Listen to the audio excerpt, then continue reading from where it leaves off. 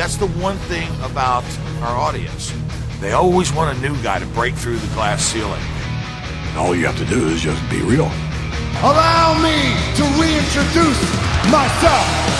I am the jabroni beating, pie eating, trailblazing, eyebrow raising, talking is done, you're out of your class, no sleep till Brooklyn, the rock whips your ass. I wish you and King would quit talking. All right, welcome to Around the Ring, episode number 63. It is Sunday, September 11th, 2016. I'm your host, Dave Brown. I'm joined by my new co-host, Floyd Johnson. Floyd, how you doing, sir? I am doing well. Excellent. I'm looking forward to being on the show. Yes, thank you so much for, for coming on the show. Uh, It's me just talking to myself after a while gets real boring, so I, I appreciate you uh, you coming on and joining us. And now you are a lifelong wrestling fan, is that correct? Yes, um, I don't remember a time I'm 35, and I don't remember a time that wrestling wasn't a part of my life. Uh, what are your, some of your earliest wrestling like memories? The first match I remember is um, it was the David Von Erich Classic. It was Ric Flair versus Kerry Von Erich, and Kerry Von Erich won the title with a roll up. I remember that because my brother, big Ric Flair fan, big heel fan, and it, when they put Kerry Von Erich over, he just couldn't believe it. That was that's a great match. That uh, yeah, it was it was like a pin out of nowhere. It was like not a Yeah. yeah, it was I forget how it was one of those So backslide. backslide. Yeah, that was it. And but then I mean he held the belt for like a week. yeah. The, the NWA back then was really bad about about taking the belt off Flair, giving it to somebody for a few days, and then putting it back on Flair. And they did it for Fritz. He was, you know, they were kind of like, hey, uh, they were building David up to be the champion, and that happened. So uh, pretty much they kind of gave Fritz, gave Kerry the belt as an honorary thing to Fritz. Yeah, I can see it. And Kerry, what what is sad is I think Kerry Von Erich is one of those guys. Had things just gone a little bit differently, he could have been such a huge star. He looked phenomenal, especially for the time. Very, I mean, his look now is commonplace in wrestling, but mm-hmm. at the time, there were very few guys that were you know that good looking, that jacked. And that could move the way he could. I mean, hell, you think about his entire run in WWE. He had one foot. Yeah. And when I go back, I, I went back a few years ago and watched that Mr. Perfect match, and it's just like you can't tell that he was on a stub. I mean, and it had to be painful. So it's just like he would work, and he worked well. I mean, he probably wasn't as agile, but I don't, you know, but I could not tell the difference, and I just it made his, his my respect for him go way up. Yeah, same same here. He uh, he he was a hell of a talent. It was I always thought it was kind of a shame that he never m- moved higher in the WWE or WWF at the time than he did. I mean, granted, there were a lot of guys at the time that were at that intercontinental title level, which for newer fans they don't realize that how much more important that belt was back then Yes. and uh, because you know Hogan had that stranglehold on the world title, and uh, so there was that whole mess. Um, and I loved Hogan at the time. I'm not, you know, at the time he was he was amazing, uh, but even that having been said, I did prefer the Four Horsemen. I really did. So, as a kid, what what did you what did you watch? Oh, uh, as a kid, of course, being from Oklahoma, I watched Mid South. They had a weekly program until they went to like UWF. I watched uh, WWF Superstars, and then whenever they did Saturday Night Main Event, I usually didn't get to like pay per views like WrestleMania and stuff until three months after, three six months after when it came out on VHS. We would rent it. Uh, WCW uh, or yeah WCW or NWA. I think I go all the way back to Georgia Championship Wrestling Oh wow, as it as it kept switching on TBS and um, uh, I watched a lot of that Clash of the Champions. Um, I mean, two out of three falls, Ricky Steamboat and Ric Flair. Oh, Uh, yeah, that was- still still one of my favorite matches to this day. Um, I, u- I I could watch Ric Flair and Ricky Steamboat work at any time together. They were just to me like perfect together. And um, yeah, so my brother again, he's ten years older than me, so he was a heel guy. So of course I was raised a heel guy. So I always I always went for the heels in WCW, and then in WWF I was more of an Ultimate Warrior fan. Okay, very nice. Yeah, yeah. The heels. I I think that WWF never, especially back then, the character dynamic outside of say Roddy Piper um, I mean, the characters were pretty. They were caricatures and uh, they were cartoon characters, really. And it was, I'm a bad guy. I I'm gonna beat you up, kind of thing. But you would get into Crockett and into you know World Class and in UWF and all those other places, and the heels were so much. There was so much more to them and I think that's why eventually it, it, just got to the point. No matter how bad Flair and the Horsemen were, they would get cheered. It, it the thing was with me was the heels. The they had the factions, the groups, or whatever. They seemed to have each other's back. When Ric Flair was getting beat up, you know, Arn Anderson, Tully, they wouldn't be far behind. But you would always see Sting or Lex Luger or whatever getting beat up by all four of them and no one would run out. And of course, not knowing it was scripted back then, I just thought the good guys were like wusses. I'm like, why don't they have their guys? Why don't they have their guys back? And it was just like it, it, they just never came out. It just seemed like the bad guys were more loyal to each other. Yeah, I. You know what? You you nailed it. And with the exception, I think Sting was one of the few guys who would constantly run out to help people. Yes. Uh, and uh, you, especially you look at a guy like Hogan. When Hogan would get beat down, you know, say when when he fought King Kong Bundy at WrestleMania two, at the build yeah. up to that that Saturday Night Main Event when Bundy um, beat him up and you know cracked his ribs, and then the British Bulldogs came out to save him. Have you ever seen Hogan? Go out to save somebody unless there's an you know it's an opportune moment for him like yeah. when he quote unquote saved Bret Hart from Yokozuna just so he could get the belt. Yeah. I, I, I said the same thing about John Cena. I was like, if John Cena would never be my actual friend because you know when Zack Ryder was doing the little the People's Champion type thing, and they were really trying to push him, mm-hmm. and then he comes out and helps John Cena, and you know they're trying to give him the rub, but Zack Ryder kept getting beat up by Kane and everybody, after that, and John Cena never ran out to help him. I was like, I would hate to be John Cena's friend. John Cena just comes off like a dick, man. Yeah. He, yeah. I mean, he says all the, you know, never give up and all that stuff, but he has no one's back. Yeah. Ever. And it's, it's really, I mean, you're right. It makes you you look at heels and especially heel teams, and they always are defending each other. And you look at some of these these ultimate baby faces. Your your Hogan's in his prime, uh, John Cena, pretty much forever, and they don't have anyone's back. Yeah. And what's what's the sub um, the subliminal message that's sending? Yeah, and, and I I've always said it. I'm like, it looks like it looks like the writers or the writers or anything. Of course, they're trying to build up this person for everyone to get behind them. But the subliminal message is very much that you know bad guys they're actually more fun, and they generally are more loyal. Yeah, you're right. You're right. And there's also the other subliminal message: only watch out for yourself. Exactly. Yeah. Which is bad. That is not good, kids. Don't do that. so, uh, of of all of the the different organizations you've watched over the years, do you have a favorite? Do you um, consider yourself a you know an ex guy or whatever? I am uh, pretty much a WCW guy. I was that WCW with the cruiserweight division. I just I just always thought it was pure wrestling, and there was enough. It was enough storyline uh, to keep you know, someone that's not a pure wrestling fan interested.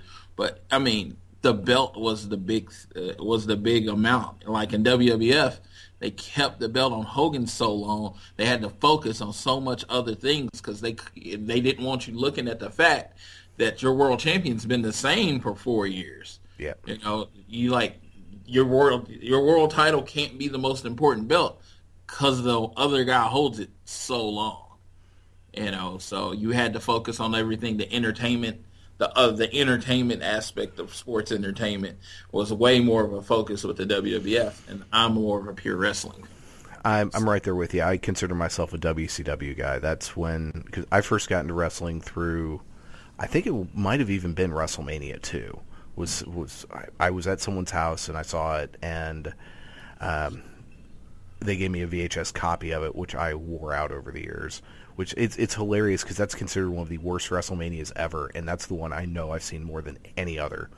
But that's because I was a little kid. Uh, but what really clicked for me it was it was that that 6 a.m. Saturday morning WCW show, and then Yeah. followed by the one at night. Uh, back when it was NWA and Crockett, and and then when Turner took it over, you, I, I'm right there with you. It was a pure wrestling show.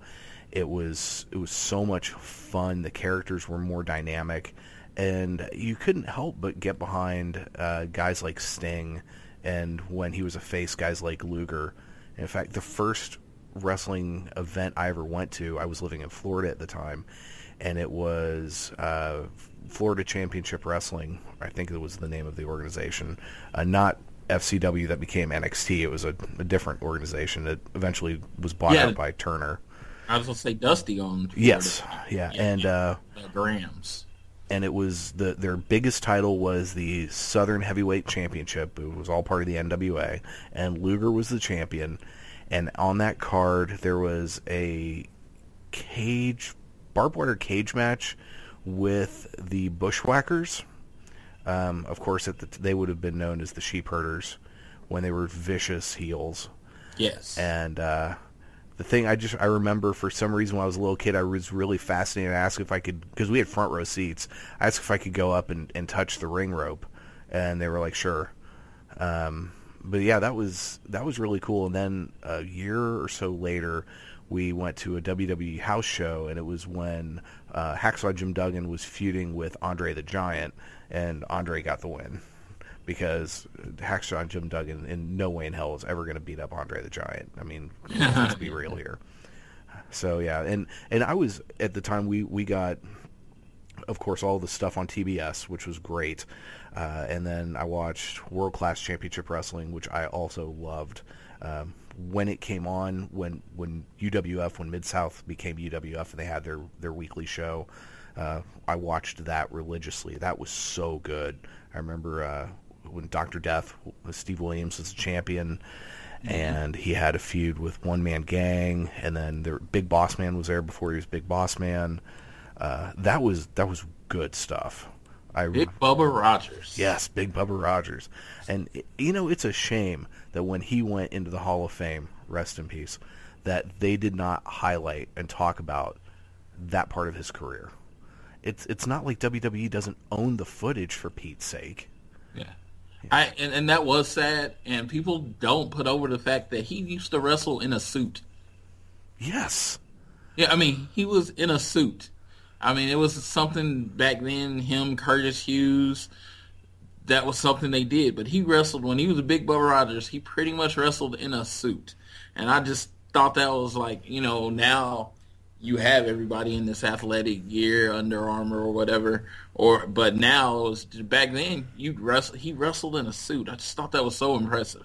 I was like, you know how hot it had to be at some of those in Oh some my- of those little facilities that didn't have air conditioning. Yeah. I heard about the sportatorium and how bad it was. And he wrestled in a suit, that and, and he could he could work. He could work.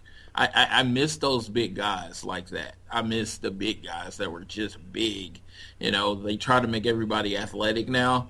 Uh, so you know, try to get them as ripped as possible. But I just remember the big guys, him and the Earthquake and One Man Gang, that were just huge One Man guys Gang, yes. and they could tell a story with their body, you know, and it was a very simple story. I'm bigger than the other guy. so that that works out. Yeah, I, I kind of had. I liked those guys, but I was always drawn to uh, some of the smaller guys. Like I, I would say my favorite wrestler probably of all time is Arn Anderson. Uh, wow, that is crazy. You were probably the only other person I know that says that. That is my favorite wrestler of all time. Excellent. And I man, his when he retired, that that speech he gave, I was in tears. Yeah. And then his whole giving his spot to Curt Hennig, Uh-huh. tears. I mean, that was incredible. And that that was one of the first storylines that really, really upset me because I understood what they were going for, but I felt like it should have like they should have had him in the spot for like five to six months instead of only a few weeks before he turned on. Yeah, that and that showed, I think, some of the the the flaws in what Bischoff and company was doing at the time because they were so focused on immediate ratings that they squandered a lot of opportunities and had they focused more on some long-term storytelling and letting it build to a payoff because they were so desperately worried about beating Raw every week uh, and and that just and that led what it ended up doing is it led to a whole bunch of shows that at first were really freaking awesome and then after a while it was like okay here comes the NWO to beat everybody up Yeah, and it was like we're out of time, like every week, and Every it was week. like, and it was. I think I think I was about six months in. I I mean, because they did it for two years. I was about six months in before I started. I would uh I would uh record WCW and then watch Raw because Raw was at least different. I knew how WCW was gonna end. Yeah, and it was like, yeah, That is true, but Raw had some dark days at that time. There was that point when they put the belt on Sid, and right before you know Austin had his breakthrough, and they had Mr. America, and they were going against. I mean, the Hart Foundation was doing some good stuff, but my God, some a lot of that was that was just right before they decided to go, you know, balls deep with the attitude stuff, and they were still holding on to the the cartoony things. But yeah, that was uh, those are some dark That- days. That was Vi- Vince's vision of the WWF. You know, that horrible time, that was Vince's vision because it was kiddie. It was very much played, and there was a lot of America versus Canada. He's big on that type of the patriotism type of uh, storylines. I mean, the Attitude Era was for him was horrible. He hates the Attitude Era, but it was something he had to do to survive. That is why, as now as USA and all those are pushing to get closer to the Attitude Era, because of course they want those five and six ratings that WWE were pull, pulling back then. The WWE is refusing because, in Vince's mind, it's a children's product. You know, it's Vince on the one hand has been this brilliant businessman and what he has done with this company, and on the other hand, he's a blithering idiot. And he, just, I, I just don't get it. I mean, you build a billion dollar company, you know, and you you do that, and everybody's like, "You're a genius, you're a genius, you're a genius," and of course, you can't help but believe it. I love Vince McMahon. I, I mean, seriously, it is probably in my lifetime is going to be Jesus, like, and then Vince McMahon. You know, that's kind of that's how it works for me. It's like that's the hierarchy. I mean, he. I've even said he is pretty much you know, shaped the way I think about a lot of things. So I get it. I mean, I get why Vince McMahon is that way, but at some point in time, just like every old coach on any sports team, your your people know what you're gonna write. People know what you're gonna do, and it just becomes very predictable. I think the product right now is fairly predictable, and so it's just like as you get Triple H taking more control, and I don't, you know, he says it's not him. He does a very good job of deflecting and taking the political role, but you can see it's getting edgier. But you can see there's always that cap on how edgy he'll let it get. Yeah, I, I think it's. I think once once Vince relinquishes control, and once Kevin Dunn is fired, I think things. I think they have to get better. Now that having been said, and this is a great way to segue into into the current product, but um, I think it has overall gotten better because it used to be, you know, just a few months ago prior to the brand split, with the exception of building up to a couple of pay per views here and there, it was oh my god, there's five minutes of worthwhile television in this three hour show. Why am I doing this to myself? And I'm not even going to bother with SmackDown because they're just going to redo the same crap again anyway. And then it's like, oh, thank God for NXT because it's fantastic. And now it's at least you have two shows that are are overall very enjoyable, doing different things with completely different feels. That's I think the biggest success so far of the brand split is they feel like two totally different shows. Yes, I'm very much more a SmackDown fan than I am a Raw fan, and I mean, and there's it's not even close really because SmackDown's more of a wrestling show. Exactly, it is. What's funny is I find myself enjoying SmackDown more, but I think Raw has a better roster. Definitely, definitely. If if you could get all the people I really like on Raw, move them over to SmackDown, and leave the creative team in SmackDown in charge, that would be fantastic. I would love to see what you know that team would do with a guy like Cesaro or Sami Zayn or um, or Kevin Owens, even though Raw is doing Kevin Owens a pretty good solid at the moment. Um, so it would be it would be nice to see that, but it's it's also really nice with the split, seeing people like you know Dolph Ziggler getting serious pushes, even though so many of the fans out there have a hard time taking it seriously because it's Dolph Ziggler, and as much as we love watching him, you know, wrestle, we know in the end the poor guy's eating a pin. He's a high level jobber. He really is. I mean, he. I mean, he doesn't. He doesn't lose to the lower roster, but I mean, when's the last time he won a feud? He lost the feud to Baron Corbin. Uh, gets drafted to SmackDown, somehow fails up, and is in the world title. Is in the main event. then yep. he loses in the main event. This critical match that's supposed to be the most important match of his life, and he's immediately given an Intercontinental title shot. Like, yeah. Well, yeah, I mean, I mean, it's and he's only giving it to make the champion look good. Right, and that's the the that's one of the problems when you have a roster that is so small as the SmackDown roster is, and you've got a guy as talented as Dolph is who can make anyone look good in the ring. You have to give him high profile matches. Uh, in a way, he's almost like a modern day Brad Armstrong. Yes. Uh, though I, I can see that. Yeah, though I think he's better than Brad was, uh, and he does not job as much as Brad does because Brad was just a full blown jobber. Uh, but he always I, looked good in his matches. I give him. I always say he is our new Billy Gunn. That is that's what I was like. Yeah, he'll, he'll be if you want to throw him in a tag team, he'll look good. Intercontinental title. He has. You look at him, you hear him talk. He has everything you think a world champion should have but then he loses every time. Yeah, and it's if they would. I mean, I think it would take a good probably year to rehab the guy. I think it's still possible. What would probably rehab him more than anything else is for his contract to end. He leave WWE, go to Ring of Honor and New Japan, and just tear it up there, and win titles, win a lot of you know, have big, lots of lots of big wins and come back in a couple of years and go, I told you I was good. Yeah, the Cody Rhodes thing. Right. But the, the thing about Dolph Ziggler, if you ask Triple H, you ask anyone, they'll say he's one of the best wrestlers on the roster. They'll tell you that, and then they'll make him lose. It's just, it's the, the knowledge that he is a great wrestler, no one will argue against. The knowledge that he's probably one of the best wrestlers on the roster, no one will argue against. He's Kevin. Uh, he's Kevin Nash's favorite wrestler because he says he's the most like Shawn. He does everything Shawn does. He's still gonna lose though.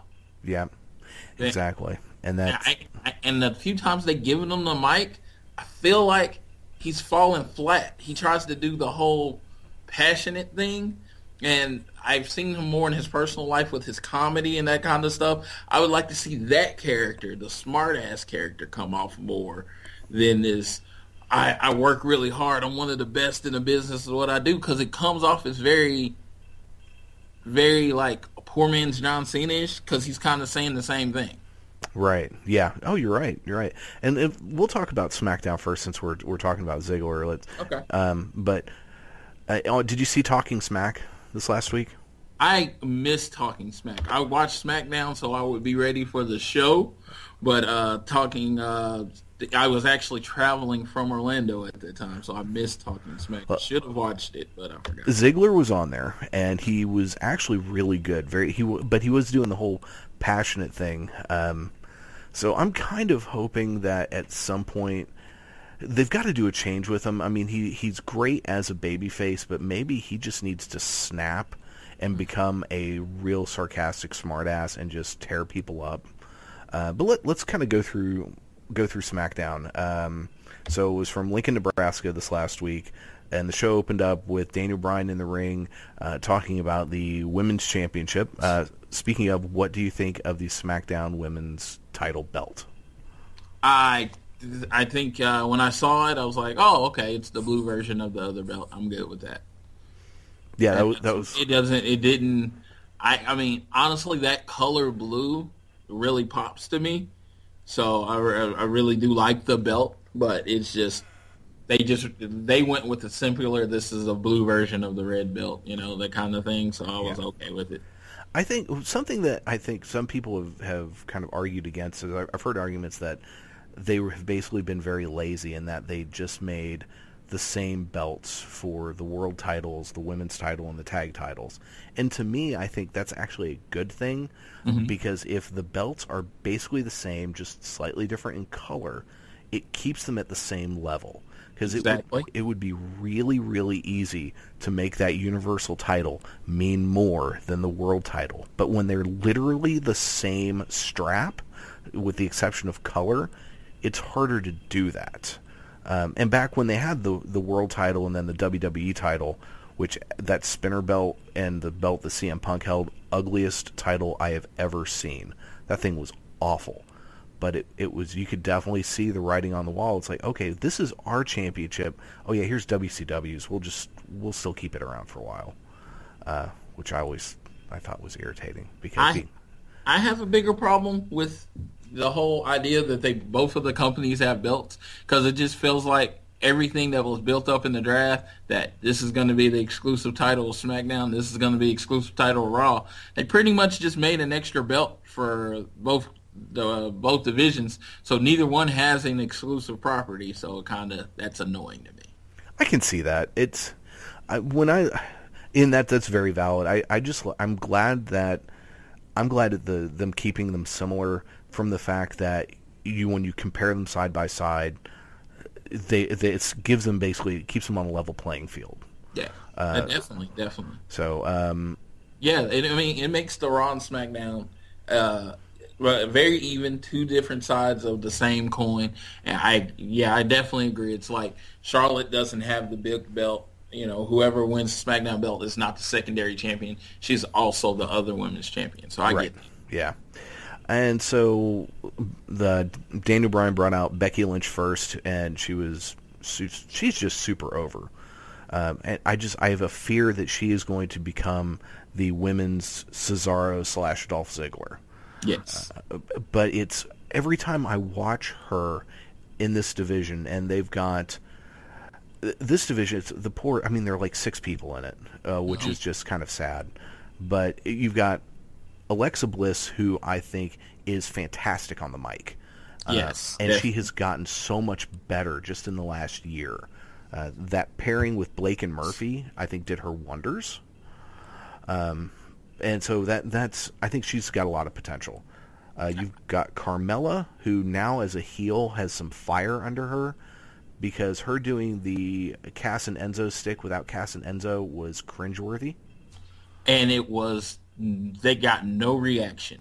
Yes. And then people didn't hate her. They didn't love her. I mean, she was in Brooklyn. She is a New Jersey, New York girl, and she was in Brooklyn. And she came out and got absolutely no reaction. Yeah, no one gave a crap. And that that's a bad bad sign. But her, but she does it, I remember back her original vignettes as the in the hair salon, she was a bitch mm-hmm. and they bring that back and have her just taking people out, I think that will help make up for the fact that she is very limited in the ring. Uh, she's gotten better. Don't get me wrong. She has her little stick. She has her moves that she does. Right. But she doesn't get outside of that at all. Correct. I do like her finisher. Yeah. Uh, uh, but that was, I mean, and like uh, she's, I've met her a few times. She's a really cool person. It's just I mean, something about her just it, if she's not with Enzo and Cass, I don't care about her. Yeah, I I'm. don't. I'm, I'm hoping this heel character makes me hate her a little because I think that would make me feel something towards her. I'm right there with you. I'm right. She from especially after watching uh, Breaking Ground, which I really hope they do a season two of because that show was fantastic. Uh, she seems like a great person. Uh, Oh, yeah. So yeah, and and you want to see her do well, and so that's what makes it even. I think that's what makes it even harder is when you watch her out there and the poor girl is just falling flat on her face, and it's not working. So hopefully, yeah, this heel run. Um, eventually, by the time it was all said and done, had all six of them out there. Natty was out there, um, and Natalya came, or Naomi was out there. Nikki Bella came out. So, what are your th- okay of all of these? What are your just thoughts in general on this division? Okay. Uh, Becky, of course, I think she's one of the best women, if not the best women's wrestler in the world. Um, Nikki Bella, I've never been big on, but her in ring work is solid. And since she's really, she's fairly good on the mic, that actually helps out. I don't like her as a face, but I get why they did it. Um, Alexa Bliss, I I I've, I don't like her really as a wrestler. I think she's better as the heel manager. Uh, but you know, in this division, I could see her. She's she's a solid in ring worker, so she'll be a person that loses a lot. Uh, Naomi Naomi has been one of my favorites for a long time because she actually brings something di- uh, different to the division. If you notice with the women's division, they all have solid in ring in ring work, and then they do a submission move. I mean, that's all of them. They all have the same cookie cutter type of type, and she's different. She's the high flyer. She's she's the athletic style. She does move, and, and sometimes it's even you can tell where it's hard for the other people to keep up with her because she moves so fast. Yep. So I, I really uh, definitely appreciate her, and I think they could do more with her if they build up. If they focus on how much of an athlete she is, they could do more with her. Um, Natalya, classic wrestler. She's the Cesaro of the women's division. I mean, she's always going to be just solid. She's going to put on solid match with whoever you put her in there with. I mean, the women's division, as far as the different personalities, I think is is perfect. Um, I I I really really really don't know where they're going to go with the champion. I'm afraid it's going to go on Nikki, but we'll see. Yeah, we'll get to predictions here in a little bit. Yeah, Yeah. I'm, I'm with you there. I think personality wise, they have six fantastic people on this division. They personality wise, and they're all actually pretty good on the mic. Uh, most of them are really good. Uh, Naomi is is warming up. I'm warming up to Naomi. Uh, I like this new her Dayglow dancing thing is good because that girl can move um, and and she is good in the ring. She's fast too. And the thing I always notice when watching them wrestle is you just I just kind of shake my head. As solid as a lot of them are, it's just like wow, Becky Lynch is in such a different league than all of you combined. It's and even even including Natalya, as good as Natalya is, Becky Lynch is on a completely different level, uh, just a different playing field. And I think part of it is because Natalya was for so many years wrestling really shitty girls, and that it dumbed down her ability. Same thing happened to Paige. You look at Paige's early stuff in WWE and how good she was, and you saw her more recent stuff, and you're like, oh, damn, what happened to her? Um, I mean, there might be other things going on there, but still. Also, I have to say, Natty has the absolute worst-looking sharpshooter in history. Yes, She puts it on backwards for Pete's sake. yes. Drives She me does- crazy. Uh, yeah, uh, uh, with I thought she would put it on more like Bret's, but uh, it, it's it's it's very weird how she does it. But the way she does it, and I can see as far as a storytelling part in the ring, it's more reversible. So I think that's why she does it that way. Yeah, you're Uh, probably it's, right. It's it's a very loose sharpshooter, and you're dealing with. I mean, her and Becky, they probably could, you know, work with men. They wouldn't care about. uh They wouldn't care about it being pretty stiff. Right. The girls are still kind of dainty. You know what I'm saying? And True. if you get too stiff, they're probably gonna be like running to the back because Yeah.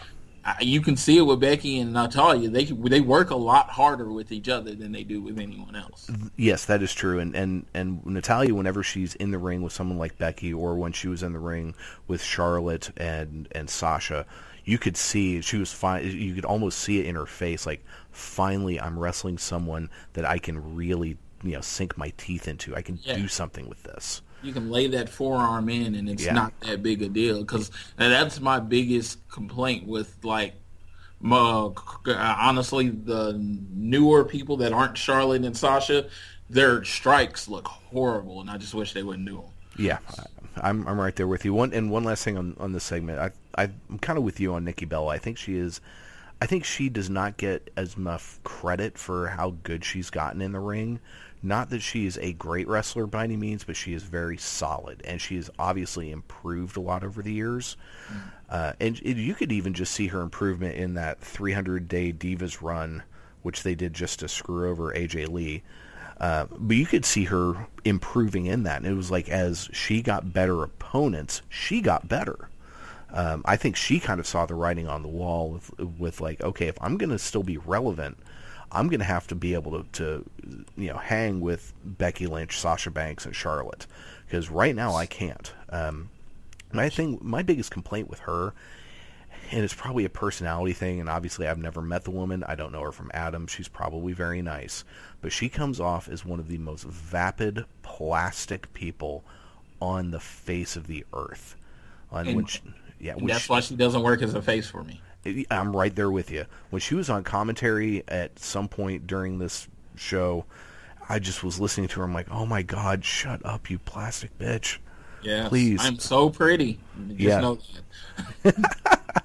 All right, so let's move on to what else happened. There was a backstage uh, scene with Dean Ambrose at a food table. This does Dean no no great shakes. Prop comic Dean, as some people like to call him. Um, yeah, just probably less said about that, the better. What? I would like him to lean more towards the Brian Pillman, Roddy Piper character that we were all kind of promised, the crazy type. And I just don't think he it comes off. He comes off as a very tame version of them right now. Right. Yeah, I'm I'm right there with you. So, what did you think about his appearance on the Stone Cold podcast? Oh, he gave him nothing. I mean, I mean, seriously. I mean, it it was Stone Cold was trying to pull something out of him. He came at him with every different angle. I'm not a big Stone Cold podcast person, but he came at him from every angle to try to get him to say something. And the only thing he got him to say is to pretty much put down Brock Lesnar. Yeah, yeah. He actually he got more out of Brock Lesnar than he got out of of Dean Ambrose, and that's saying a lot because Brock Lesnar does not like people. Uh, Yeah. and, and now I kind of attribute this to I think Dean Ambrose, the the guy. I think he's just a very private person. Uh huh. He is. and I don't think he's being out of character sometimes on things like this. I don't think he's super comfortable with. Now, you give him a mic in character, and he's fantastic. Um, but if he's actually supposed to sit there and be him, you know, quote unquote himself, he's just not going to open up a whole lot. Um, and I don't think that did him any. He, he actually does not even admit that he's with Ray Young, Renee Young. She and she talks about it more than he does because he does not want anyone to know. And that was mean, fun. There was a really funny moment on Talking Smack about that. Um, Renee Young was asked who she thought was going to win the uh, the title match, and she said Dean Ambrose. And Daniel Bryan just looks at her and goes, "Really?" And and Dolph Ziggler was giving her shit about it too. It was so funny. yeah, because Um, it's like they're so obviously together. Yes, lucky lucky man. And I like Renee Young. I tell you what, that was a hell of a find for WWE. She is fantastic. Um, aside the fact that she's a beautiful young lady, she is passionate about wrestling.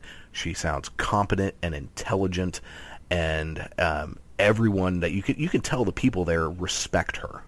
Um, yeah, she was just she's fantastic. And if if her contract ever ends, they need to just just offer her money, money, money, because you know ESPN will be offering her lots of money.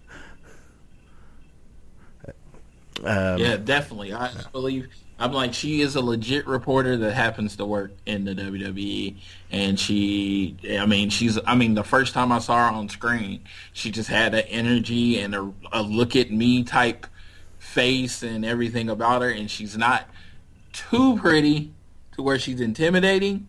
that which is she's a very attractive woman, but she's not like super hot where you're not paying attention to what she's saying. Right, she's that girl next door beautiful. Very much so. Very much the Jennifer Aniston of the WWE. Exactly. I, I'd I'd say she's prettier than Jennifer Aniston though. In I- my humble opinion. I mean, maybe now, but in the Friends days, Jennifer Aniston is pretty. pretty I never liked that show, Friends. I, I can watch that show anytime, any day. It's actually one of my favorite shows. Oh, well, there you go.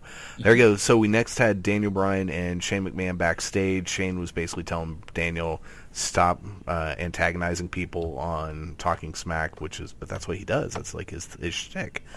I mean, that's the only reason to watch Talking Smack. It really is because Daniel Bryan, Yeah. you can tell he gives no shits, man. He just does not care. He's going to say what he wants to say, and even in that, even in the the, the when he was plugging um, the total Bellas thing, you could almost see it in his face, like, guys, they're telling me I have to say this. Yeah, this is the dumbest thing ever. Yeah, exactly. So uh, they were joined by Miz and Maurice, which then uh, segued into a uh, Miz in-ring angry promo, which eventually turned into a match with Apollo uh, Crews uh, with Ziggler on commentary. Um, now I've seen you've posted some stuff on the Facebook very uh, as a Miz fan. Are you? Is that, is I- that pretty accurate? I I love the Miz. I just think he is very much 80s 90s heel. He plays the character no matter how good he is. He can you know, fans are cheering for him. He can flip it like unlike anyone else. And he can make you hate him again. And he is very very good at that. And he's like he plays the heel character. It's like he watched he it's like he watched Jerry the King Lawler and uh, he watched Ric Flair or something because he can always flip it back to make you hate him. He can make you boo him. After that impassioned promo that he gave on Daniel Bryan, everybody was like pipe bomb, CM Punk. He came out, everybody was cheering for him. He flipped it within a minute. So impressive. Yeah. He made them start booing him because that is his job. I think I think he doesn't get enough credit for as great as he is on the mic, and and that, that promo he did where he ripped into Daniel Bryan was was fantastic. I still don't think he's the best in ring worker in the world. There's and the, just there's some moves that he does that I you like the one where he he drops the back of their neck onto his knee and turns it into basically a version of the Rude Awakening neck breaker Yeah. that looks pathetic. I'm like, what is that even supposed to do? Does that is that does that hurt? Can someone do that to me so I can see if that hurts? I'm sure the neck breaker part of it doesn't feel good, but the part where he like gingerly puts their head on his knee, like, dude, what are you doing? But it goes to what Daniel Bryan says, and then it actually makes him more of a heel. His soft in-ring work, the kind of style, actually makes him more of a heel. So the pure wrestling fans are still going to hate him. Because if he was really good in the ring, when you're really good, Kevin Owens, Cesaro, people like that, it's very hard for you to be a heel. Because people still want to cheer you.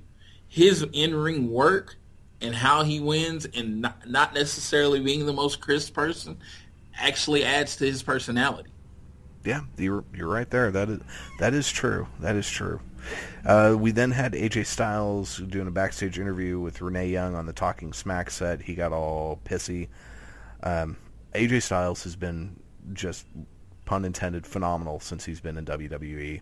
I think The. MVP of the WWE. yeah, He he, he made Reigns look amazing. He made uh, he, he's uh, he made John Cena step up his game, which you know the great wrestlers do with Cena.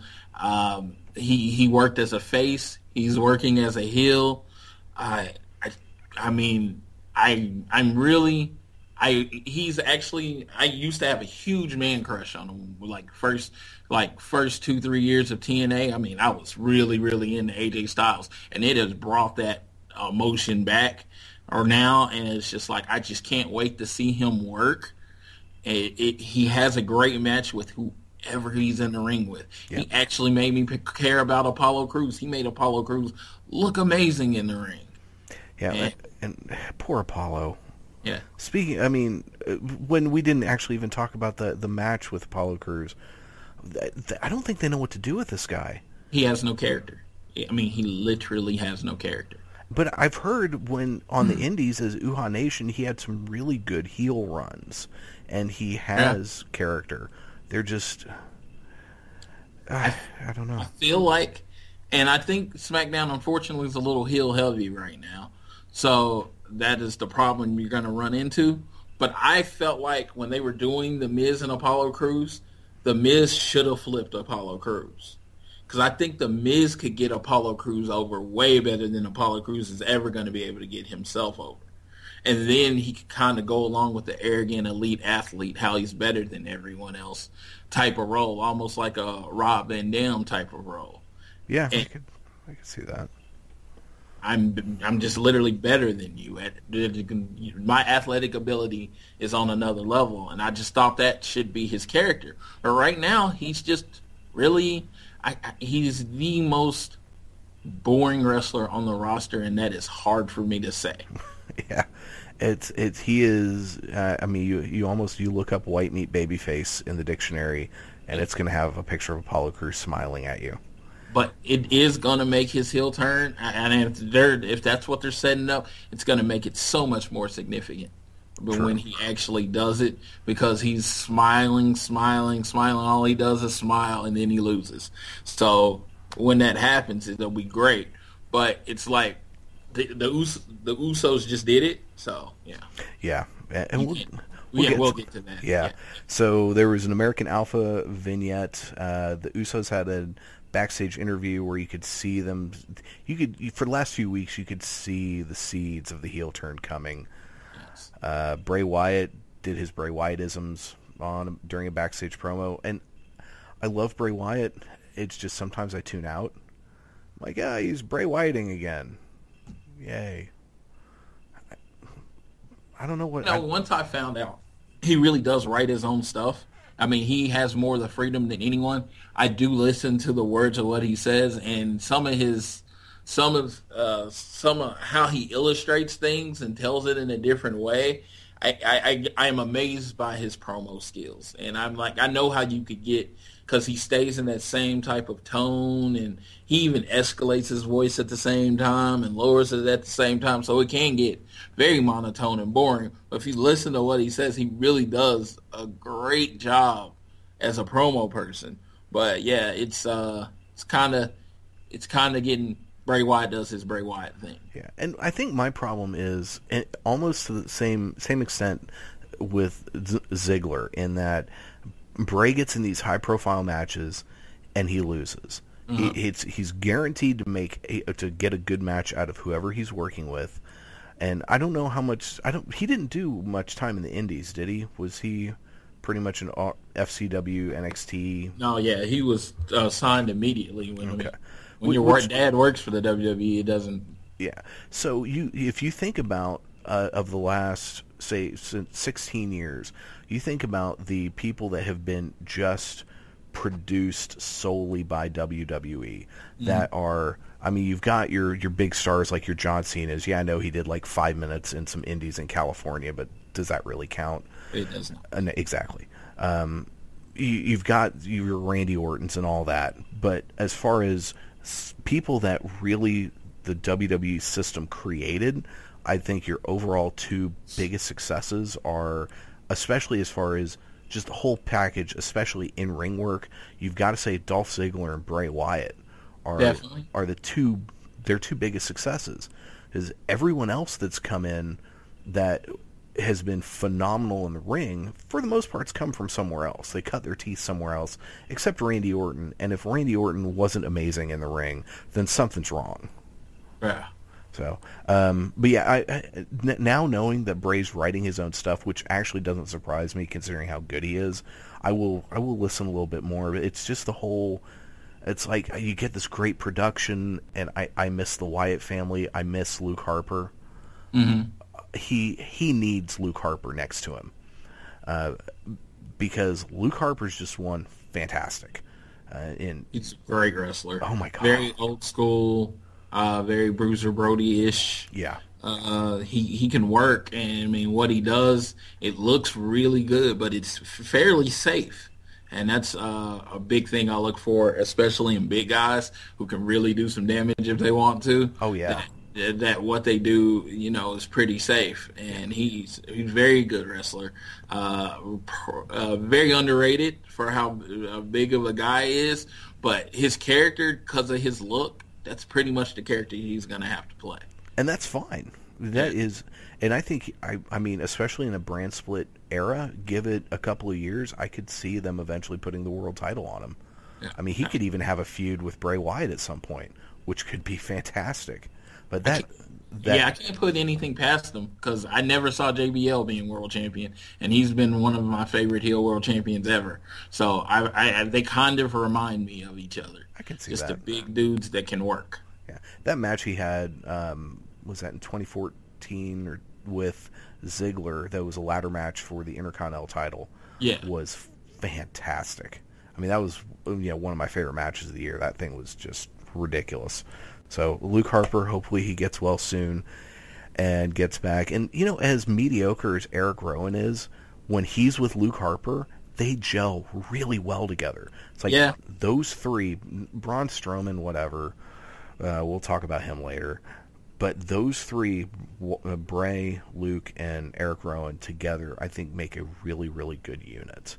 And I'm hoping that when Luke Harper gets better, they bring them all back together.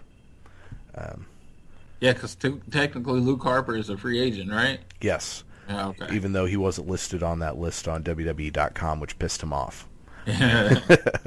uh, we then had Nikki Bella, Becky Lynch, and Naomi against Natalya, Alexa Bliss, and Carmella. Um, Carmella actually made Nikki tap out, which means Nikki's probably winning on Sunday.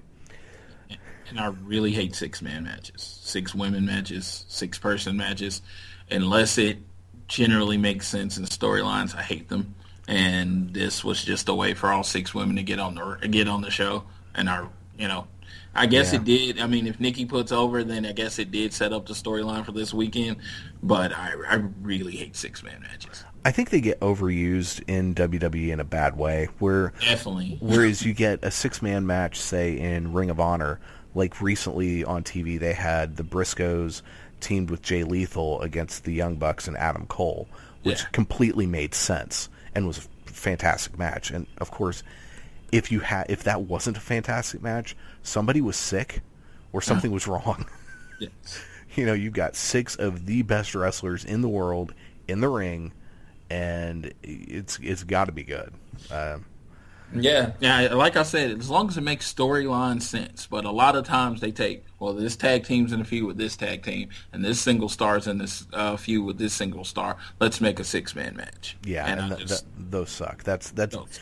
And that's bad WWE booking. I think more yeah. than anything else. Um, we had the Usos against American Alpha in the tag team semifinals. Um, Usos attacked just right out of the gate.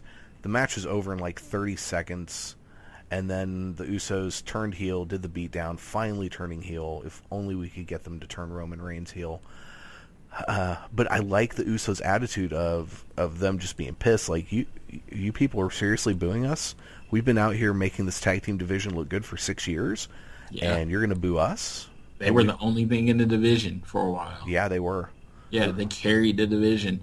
Um, I give this whole segment an A plus. I mean, as a perfectly done segment. How they had to lose, uh, the injury, the whole going after the leg. Uh, I just think I think it was just perfectly done. I mean, uh, we saw it coming, but they did it in a way. I mean, they lost in 30 seconds, so it was like, wow. And yeah, I, I thought how they went after the leg, very old school, uh, very old school. The splash, he put him in the uh, the half crab and then he just splashes on his leg. I was like, this is impressive. The, the way they did it was perfectly written. It was and it was perfectly executed by both the groups. Agreed. Uh, I I think the Usos in their personality. Uh, I when I, I watched them on Up Up Down Down or other ways, they come off as cocky bastards, and I never bought them as faces. I can and, see that and so they very much I never bought the, being a heel is their perfect personality, and I just think it's going to being heels is just going to make them more interesting because of course when you're heel you can say whatever, Yeah. you don't have it, so they can start going into you only hate us because we tagged with Roman Reigns. So Yeah. Yeah, that you're right. You're right. They are, and they are really good. Now, did they? Do you know? Did they have any experience on the Indies before coming, or they also Booker T trained them. Booker T trained them? Okay. Booker T trained them at his school in Houston, and they pretty much immediately got signed after their training. Okay. So, so in a way, you could say they're somewhat. They're basically products of WWE. Yeah, oh yeah, they're definitely products of them. So then, then you would have to put them probably in that list with the Ziggler and Bray Wyatt, and Yeah. because yeah, because they really are good. I mean, you could the sign to me of of someone being a really good wrestler is you could see them pluck them out of the WWE, put them in New Japan, put them in Ring of Honor, uh, put them anywhere. Will they have a good match? And if the answer is yes, and I think the Usos would, I think you get the Usos against the Young Bucks. I was just gonna say that team. Yeah, that would just be fantastic. That would be so much fun to watch. Um, whereas, as good as Randy Orton is, you wonder, would he survive in New Japan? I don't know if he would Because he, he, he's so pretty and he's so he's very particular. yes, Uh, and like if you're not where you're supposed to be when you're supposed to be, and he does not adjust well, and sometimes he'll flat out just yell at you in the middle of the ring. poor Kofi. I, I, I am very upset that uh, we never got really a good program with Randy Orton and Drew Galloway. I just think that would have been a great program. I just it just popped in my head that I was like, I, I, I love Drew Galloway. He's probably my favorite indie guy right now because TNA is pretty much the indies now. But uh, yeah, Yeah, TNA really is. but yeah, Randy Randy Orton, I think he would work with some people, but yeah, I think his personality, how he's been in the WWE, he's been a top guy for so long. I don't think he would. I don't think he could do the grind that it would take to be the indie guy that he needs to be. Agreed. I don't think he could. He's too, for lack of a better word, soft. Yeah, Uh, he is. He's had that very comfortable life in WWE, uh, being the because even if you are even the lowest paid, you know, low card dude in the WWE, you're making good money. yeah, Um, so he you've got to. I mean, he's got to be loaded. So he would show up in in Japan, and most of those guys can really go yeah. and and they they would give no fucks. They would just look at him like, uh, "And you're special because," and then kick him in the face. Yeah, So, uh, but I don't think Bob Orton's that big a name in Japan. no, no. But man, if someday, if we could get a Shinsuke Nakamura Randy Orton match, Oh yes, that could be really good. Oh yeah, but if he dislocates Randy Orton's jaw, he will probably be released the next day. yeah, there are just a few people that you just do not f with in WWE. so Yeah. Um, so, uh, speak, Randy had a backstage interview that I really don't remember anything about. I mean, he's been he he's been actually great. did a pretty good job of uh, of the promo because I really generally hate Randy Orton on the promo. But, excuse me, because he does this monotone thing. But um, he told the story about the serpent and how he wanted to he he wanted the man and the rabbit, and I just thought that was that was perfectly done. But the problem was, it's like who would tell someone their strategy like that? True. I'm waiting on you to mess up. Uh, yeah, that's not really wise. But I just thought the I thought he did well on the promo. You can tell he's been working on it. Yeah, I think he has been since he's come back from injury. He has been really good. Um, I think he got really bored for a while there, uh, and because it was, it was the wrestling soup guys always make jokes about how you know once a year he gives a crap, and when he for that month when he cares, he's awesome, and the mm-hmm. rest of the year he phones it in. And maybe it's just to the point now where there are enough folks on the roster that he feels like maybe he's in that same position Natalya was in that he feels like okay finally here are some people that I could really work with and and have some really good matches with. Maybe maybe I'm reading too much into it but he has been even before he got injured and since he's been back he actually comes off like he cares and he's Yeah, having the pressure- fun The pressure's off of him. He does have a light and work schedule, and you know, and he's happy at home. You know, that's a big thing. Is like, Uh, he's happy with his uh, wife and his kids, so that's gonna always add to how you perform at work. So that's that a is big thing that is very true. see- And as you get older, you get softer, so he's probably not as into himself as he used to be. That is true. oh, you know he was an arrogant, arrogant guy. No, yeah, no, he thought he was the best thing that, that ever happened to the wrestling business.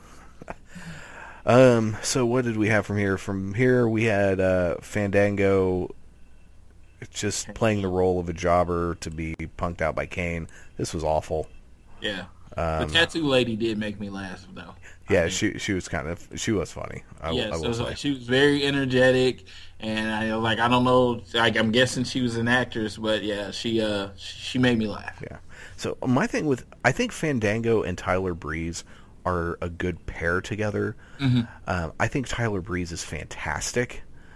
His, his run in NXT, he he always delivered. He is so good. They have had no idea, I think, what to do with him in WWE, mostly because I think Vince looks at him and goes, "I don't get it." Yeah, whi- which is a sign of death. Fandango, I think, other than being a buff, good-looking dude, sucks. Uh, he's not a good talker. His ring work is meh, but they mesh well as a team. And uh, for now, at least, it, I think it'll be good. Eventually, I'm sure they'll turn on each other, and hopefully, the match won't suck. I feel super bad for Fandango because he got stuck with the Fandango character. I just think it's so not him that you can see it. I just think, I mean, it's a force. It's definitely a character that's nothing like his personality, and I think he, I think he would work a stronger style. I think, I think he would be completely different because you can't wrestle. Your name can't be Fandango, and you be a ballroom dancer and be a super aggressive wrestler. It doesn't work with the character. So I, I think I don't think we've ever seen him as him as Johnny Curtis. So it, it just kind of sucks for him. Yeah, I, that you know, you're you're absolutely right. Did, did he do much on the Indies before coming in? I don't know, and and that's something you won't hear a lot from me. But I don't know. I think he was in. I think he. I definitely was in FCW as Johnny Curtis, and they liked him. Vince thought he had a good look, and Vince came up with this. Vince saw an episode of Dancing with the Stars, oh, and Oh Jesus Christ! decided he was going to Really? be the ballroom dancing character, and unfortunately, he got stuck with a very '90s gimmick, you know, and. Oh, it's such a bad gimmick too. Oh, And, he, and he's guy. done everything he can to make it work, and you know, and he stayed employed. So I give him credit on that. But yeah, That, that- yeah, that is true. Got to got to give the man credit for that. Um, what happened after this? We had AJ Styles walking around backstage screaming at people. I thought that was pretty funny. Yeah, him throwing that dude's phone was was pretty awesome. Yeah, Uh, there was pick up your phone. yeah, there was another Curt Hawkins vignette. Admittedly, for me, there was a number of years where I didn't watch wrestling, and Curt Hawkins was a guy who was in WWE during that time. So Wow. I, I don't know anything about this guy. Yeah, uh, a big thing I hope they build up on him and Curt, him and Zack Ryder were tag team champions. They were called the Major Brothers, and then they were Zack Ryder and Curtis Hawkins. They were they were Edgeheads, and he's a very good worker. And and him and like I said, him and Zack Ryder had pretty good chemistry. So I'm hoping with the whole hype bros thing, they, you know, kind of like hey, and even if it's just a hey, I know you kind of thing, or welcome back type of thing, that would be cool. The whole Chuck Norris gimmick that they're doing, Yeah. I actually dig on that. The reason I dig it is because other than that, people can people are saying Curt Hawkins' name, and most people probably don't remember his first run. So All right, well, good. I will. Uh, uh, it gives me a little more to anticipate, so that's good. Speaking of Zack Ryder, next was the Hype Bros against Rhino and Heath Slater in the next semifinal tag uh, tournament match. So the Hype Bros, Mojo Rawley, bless his heart, he seems like a nice dude. He really does, and that he is energetic as all get out. But he he is one of the few cases where you would watch him on NXT and it just didn't work. And you get him to the bigger stage, to the no offense to the mainstream audience, but a dumbed down wrestling audience, uh-huh. and he gets over. I I think he is going to be far more successful in the main roster on SmackDown and on Raw if he ever goes over there than he was ever going to be in NXT. Because a guy like that in front of a smarky crowd, not going to go well. He he was straight WWE signed, uh, like had never trained or even taken a bump until he got with the WWE. So because you know he was a football player, they like Right. the football player guys, and he had a lot of ener- energy. So he kind of went along, and they're trying to make him work. Um, yeah, he does nothing for me. I Yeah. mean, I, I, I really, he's one of those guys. I could, I could, I feel like I could cast him into different character. Uh, we were talking about earlier, Big Bubba Rogers. Right. I would, because he's a big dude. He's a huge dude. Um, you know, Mojo Rawley is a big guy. You throw him in a suit, and you kind of have him as a bodyguard type person, and he just beats up people. I could buy that. Yeah, but this whole that. the hype guy, dude, it's just it's so cheesy. It's so it's so like coming off as you're going to be the comedy part of WWE forever. I can never take you seriously right now. Yeah, I think a lot of that is th- this is a case where that's actually his personality, based on everything I saw on Breaking Oh. Ground. Yeah, um, and and he is very charismatic. And the fact that he is a complete WWE product, he's, I mean, that's they've done well with him. They have trained him well. He is he's competent in the ring, um, and I think the pairing with Zack Ryder it works okay. Uh, it was again talking about Breaking Ground, um, watching how they became friends. Because at first Zack Ryder, you could tell was like, "Why the hell am I doing this?" Um, but the fact that they kind of became friends, even though their personalities obviously do not mesh, um, I think it was kind of a cool story. And again, he seems like a nice dude. He does nothing for me. I don't take them seriously as champions at all. But yeah, I could see at some point down the line, uh, once the hype bros thing finally, it finally you know loses its steam, you could have uh, someone basically hire him he turns on Zack Ryder, beats the tar out of him, starts wearing a suit as a bodyguard or something. That could be a great story. Uh, so yeah, I mean, and it's good getting Zack Ryder something to do because he wasn't doing anything. He was doing Yeah. jack squat.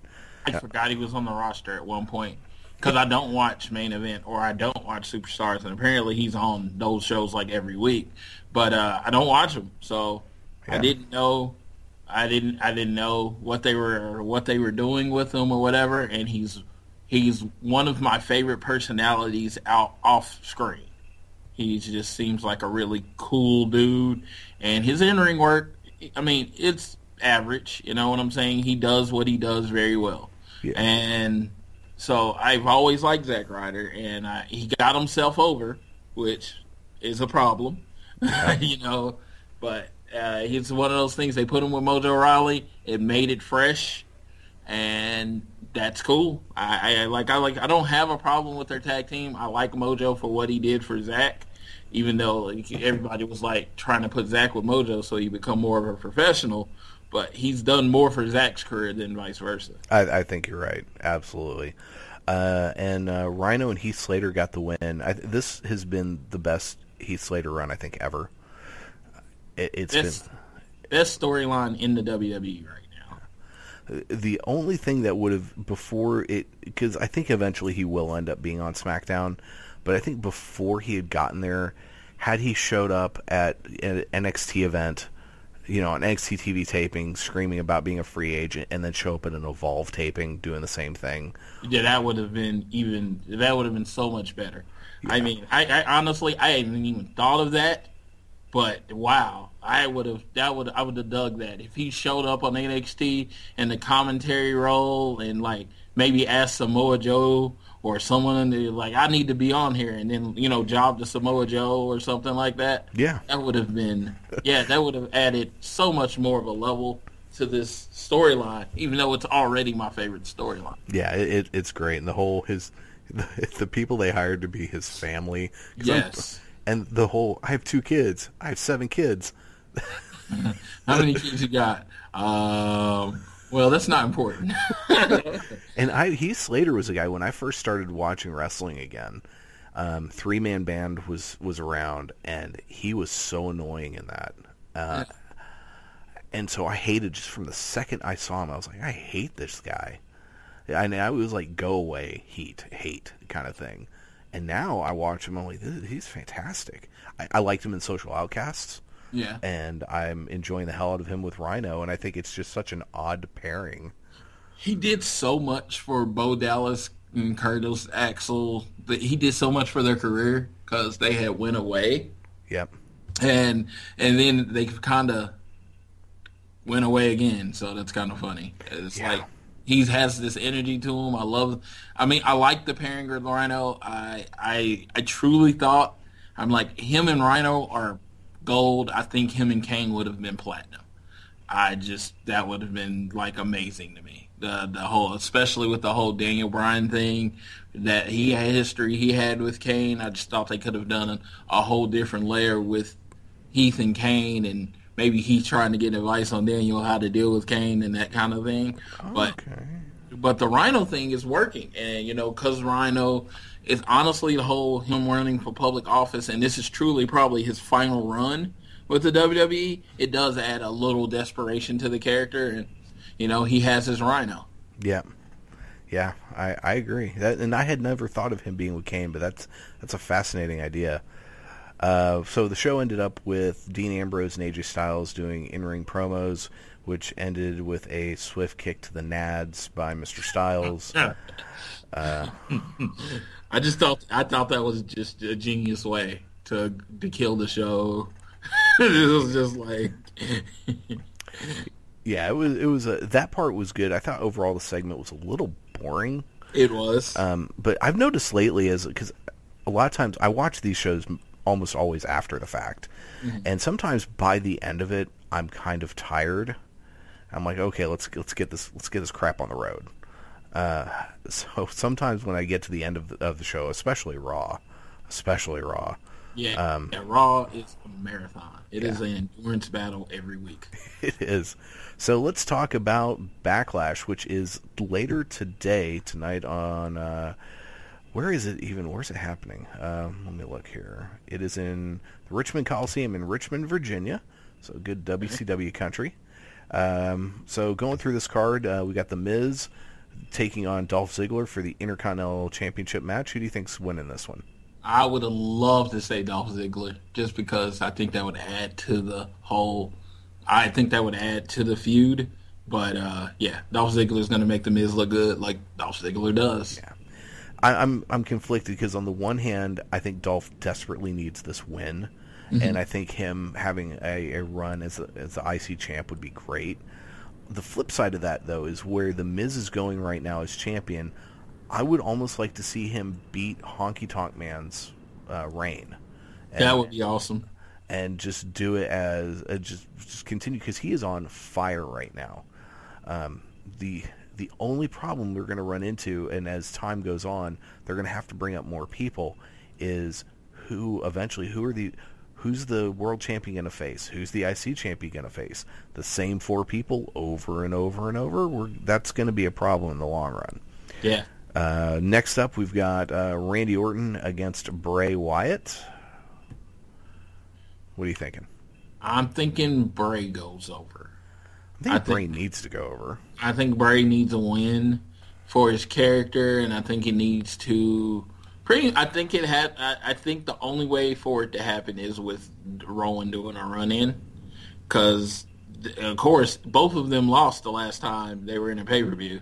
So it's like one's going to be on a bit of a losing streak, and the way Randy would save face is if Bray Wyatt does something crappy to win. So I'm thinking we get their run in with Eric Rowan and they can, uh, cause I kind of hate how he's disappeared.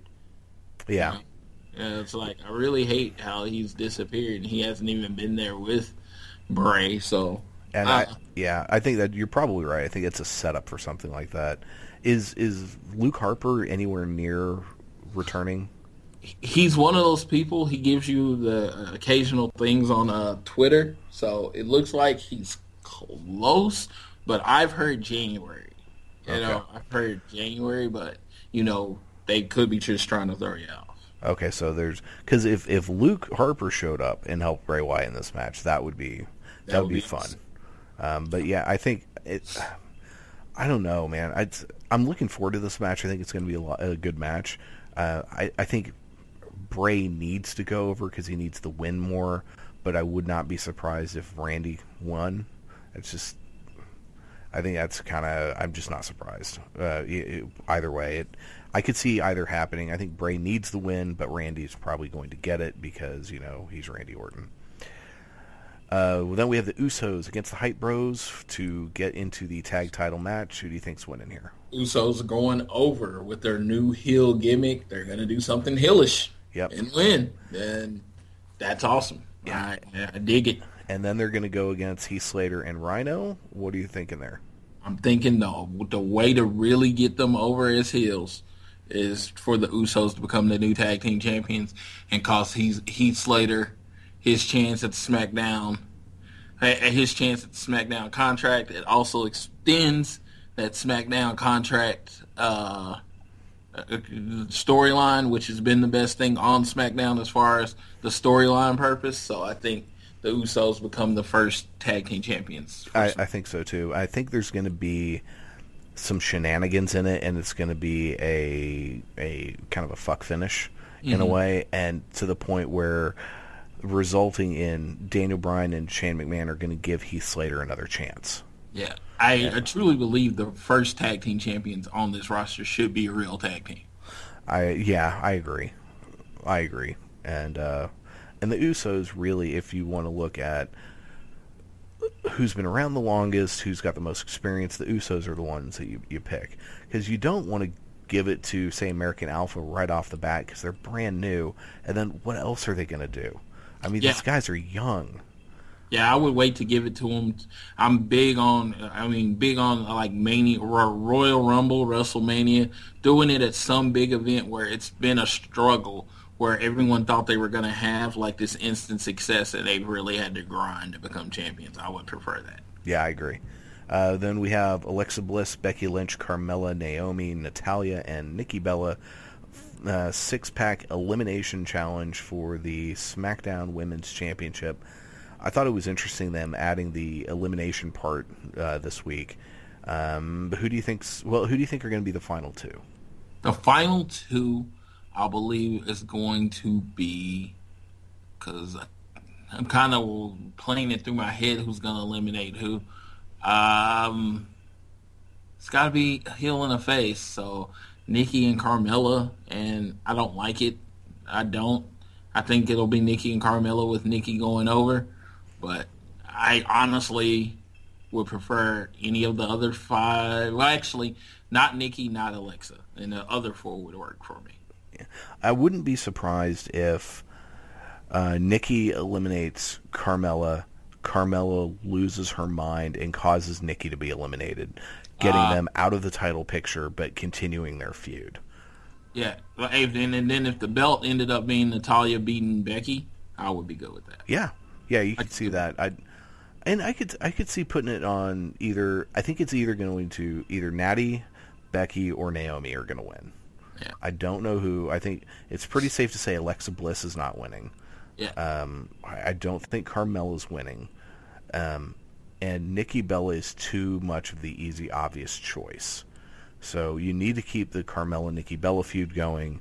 So give it to one of the others. Um, and Natty might be a good choice. I mean, but though, if it, the one I, the person I want to win is Becky Lynch. Uh, yeah, uh, she is the person I want to win, but I do like that she's in the role of the person that never wins, and that when she actually does become the world champion, it's going to be such a bigger deal. Right. So in a way, you don't have her win here because you let her win at Mania or at the Royal Rumble or something. Yeah, something Survive- one of the four majors. Yeah. just it, her her build up. I mean, she was the one.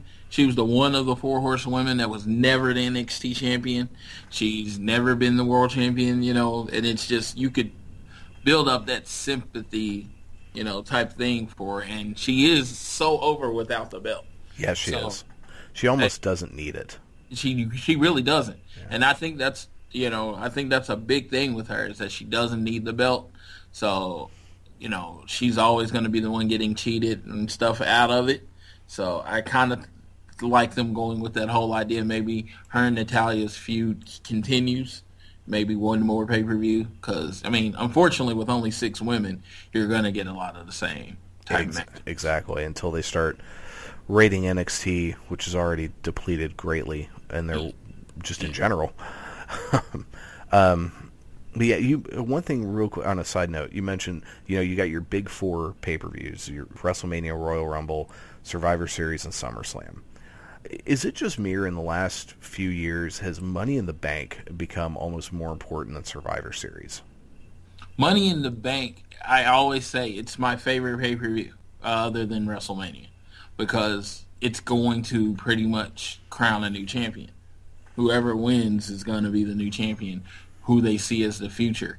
So it's very important to me. It's always in my birthday month, and I haven't been able to make it to it. Oh, man. Something always comes up. It, it really is. It comes from hangover from WrestleMania. WrestleMania is at the end of March, early April. I spend so much money there that it's it's hard to turn around and go to a pay per view that's generally nowhere near me in June. Yeah, that that makes sense.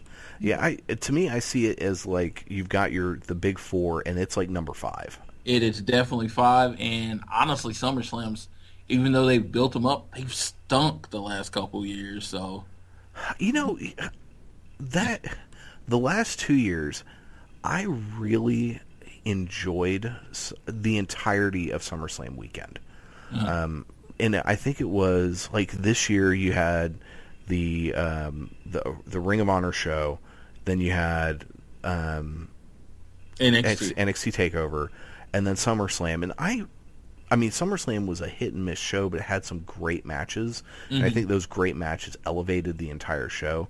And so, as a whole, I I walked out of that weekend going, that was fun.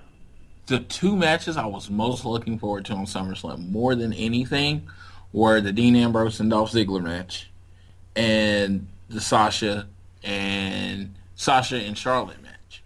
And even I didn't like either one of those matches. I like how the way Sasha and Charlotte ended, but I didn't really like the match. And it might have been because Sasha was hurt with her back, but uh, it was just it was like the match on Raw that they put on was way better. Yeah, that the, you're right. That And- was that SummerSlam match was sloppy, Yeah. and there was it was botch-tastic. Yeah, I don't know if it was because of her back, and I don't like as big as Charlotte is, and as small as Sasha is, the whole backflip off the top to her on the ground. I mean, Sasha's supposed to catch you going at that momentum. I don't really, no, I don't like that. Yeah. I didn't like that spot. It's it's a spot that is stuck in my brain till you know a month later because it was such a bad spot to me. And it's one thing when they do that spot in the at Mania when it was the triple threat when yeah, there was you had two people to two catch her. people catcher. Yeah, you're exactly right. Um, I would like to see in with all the pay per views eventually Money in the Bank also being a super show Mm-hmm. because I think having a Money in the Bank for on both shows would be good eventually. I, I totally understand why they're not doing it this year. The fact that there's like what six people, I'm exaggerating, Yeah. but there's like six people on SmackDown, so you really can't have someone walking around with a briefcase. Um, but in a couple of years, I think you need to, if the brand extension goes on that long, this is a big if, but if it does, let's say it's actually successful and they do it right this time, in a few years, I think you need to make Money in the Bank a joint show, and uh, it, just because it has become so important, um, and uh, yeah, I just you then have the you still have the big four, but you have one other joint show. Because when they first started talking about the brand split, and I it, it didn't click in my head that every that there was going to be two pay per views a month. I just figured, oh okay, so one month Raw gets a pay per view, the next month SmackDown gets a pay per view. That makes more sense. Yeah, because that won't burn out your fans as much.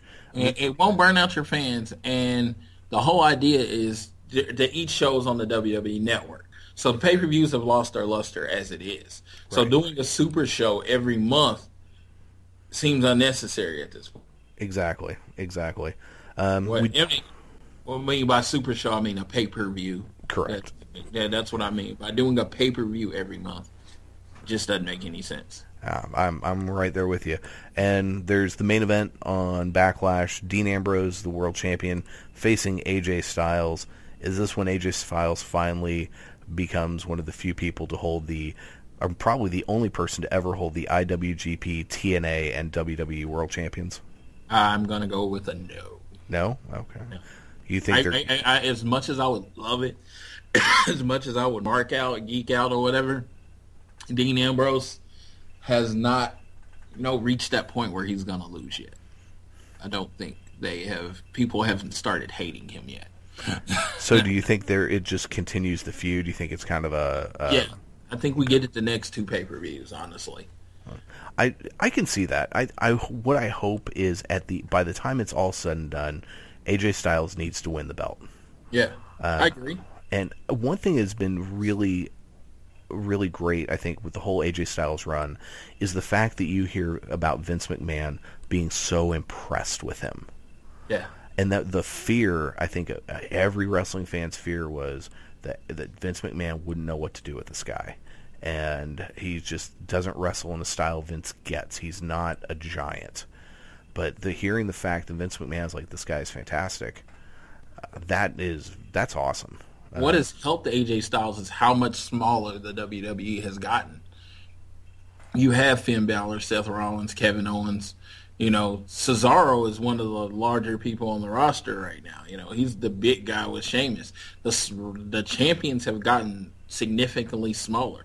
I can buy AJ beating Dean, uh, but if AJ was in uh, against, let's say, Baron Corbin, I don't think Vince would let make that work. You know, he he that wouldn't wrap around in his brain because, but he makes people look so amazing. Yeah. he's like, and that's a big thing with you know AJ.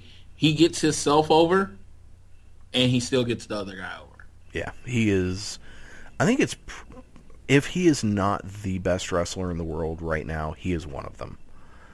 Uh, he he's just so incredibly impressive, and Him and Kevin Owens, to me, they're they're one and one A as far as WWE uh, WWE just because they don't have a bad match with anyone. you're right. They they just don't. And I, I, I think I was looking at Sheamus and how boring he's become. I was like, Sheamus needs a program with AJ Styles. He does. He can actually make people give a crap. Yeah, and like because it's just like with certain people, they've been doing the same thing so long. They need someone to come in and just say, "We're gonna do something different." And it's just saying AJ brought it out of, and not even really brought it out of Roman, because Roman can wrestle. Don't don't get me wrong, but he made everything Roman did look so strong. Yeah, You know, that whole Samoan ass kicker they've been trying to get over for years. I bought it when he did it with AJ Styles. yes, that was that was the best thing for Roman Reigns. That feud with AJ Styles. Yeah, he sold that Superman punch like no one does because I hate the Superman punch. Uh, as far as it looks, it looks like he's pulling back and not connecting. That's the biggest problem with the Superman punch to me. It's like so. Yeah, I could. I I think the best punch that I've ever seen Roman Reigns throw was that one on Miz TV, where he was sitting there with Miz was just Uh-huh. And he talking crap. threw the punch out Yeah, of nowhere type He thing. did. That was Yeah. a that looked like. I mean, he he connected. That oof, that was brutal. And yeah, poor. Speaking of Roman Reigns, poor because we're going to talk about Raw now. Uh, we might not go as detailed into Raw as as we did with SmackDown, but Roman Reigns is, in a way, I feel bad for the guy because he keeps getting shit on by the fans. His he's not a bad wrestler. He's actually at pretty good. He he's I think if they would just let him be himself, he would be a better talker. I saw some of those those clips from when he was in his suit in NXT before they did the Shield thing. He was actually pretty good at that. Um, and so he he's got to get out. He's got he needs to get new ring gear. That's got to change because it just I the yeah it, that's got to change. And there was I forget which match it was that there was maybe it was that it was a multi man match that it was the one for where Kevin Owens won the title. Um, at one point, Kevin Owens went and did the you know the the backhand chop on on uh, Reigns and it hurt his Big hand. He- he- uh, no, no. Um, Owens did it onto Reigns onto his his plate thing that he wears, and he he was like, "Damn, that hurt." And it was just a, one of those funny little Owens moments Yeah. where he does something and he reacts just in ways no one else does. Uh, but that that flak jacket thing's got to go. That is that's awful. Um, so, do you want to go all the way through all of Raw, or do you just want to talk about your your overall thoughts about it? Oh yeah, I was say I can hit the hot spots. Okay. Um, yeah. What were your Um, Kevin Owens and Chris Jericho, I think that's going to be amazing. Uh, I really did think Kevin Owens came out and and I love I uh, Kevin Owens came out. He did his thing, and he was very much his smarky Kevin Owens self, and I, I I dug it, and I love that they didn't bring Triple H out. That was amazing to me. I, I just thought they were going to come and shove it down your throat with Triple H, and the fact that they didn't bring him out and they've only acknowledged him, it, it keeps his hit the storyline a mystery. And I felt like Raw has been missing uh, an encompassing storyline for the whole show. Because I mean, it's a three-hour show. You got to have a way to tie it all. Over the first few months of Raw, there's been nothing to tie it together. Now you have this overarching Kevin Owens. Is is is Triple H coming back? What was Triple H's plan? Is to the uh, so much to the show. I when I heard your show last week, for the people who listened last week, you brought up that whole idea of the four horsemen type thing with Kevin Owens. right? That was really amazing. I thought that was a really great idea. And I, you said Itami, I was like, I, I just like Chris, Chris Jericho in that character. Uh, as far as and then bring in uh, my favorite uh, my favorite tag team, the Revival, as his as his group, and I just think that would just be because they're all such great talkers, and they're all such great heels that I think that would add so much to it. But I do look forward to what they're going to do with the whole Chris Jericho and Cole Kevin Owens thing. Um, it's I mean honestly, Raw was mainly forgettable. The whole Charlotte slapping Dana Brooke thing doesn't make any sense to me Yeah. because Dana Brooke has no character. I mean, I mean, she she actually. Let me say this: I love her on the mic, and I love her. She can't wrestle, so I know they're not. They, they can't be bringing building up a Charlotte Dana Brooke match. No one would want to see that. No, not at all. The Bo Dallas against the enhancement talent. That was the first time with an enhancement talent that it actually made sense because they're kind of changing his character. So him working with an enhancement talent actually made sense. Yeah. Um, Now I heard a rumor that that is just a temporary thing that he's going to be facing somebody at some, in some tour somewhere, and they want to make him look, you know, kind of credible to get jobbed out to this other dude. Yeah, he's gonna fight in China against Bin Wang, Okay. uh, the, the new Chinese guy that they signed. His first match is gonna be on the WWE China. So Okay. they were trying to build Bo Dallas up as a badass. So you know, See, I, I love Bo Dallas. I I- the when Bo Dallas got kicked out of NXT and he had that breakdown and was running around and the cops were grabbing him and taking him out. That was one of the funniest things I have ever seen in my entire life. Uh, and and that the po- when he kept like he would he kept walking out before he had the breakdown and he was when he, he there was he was on the stage and he was like going back and forth with the audience. He walked out and he kept coming back.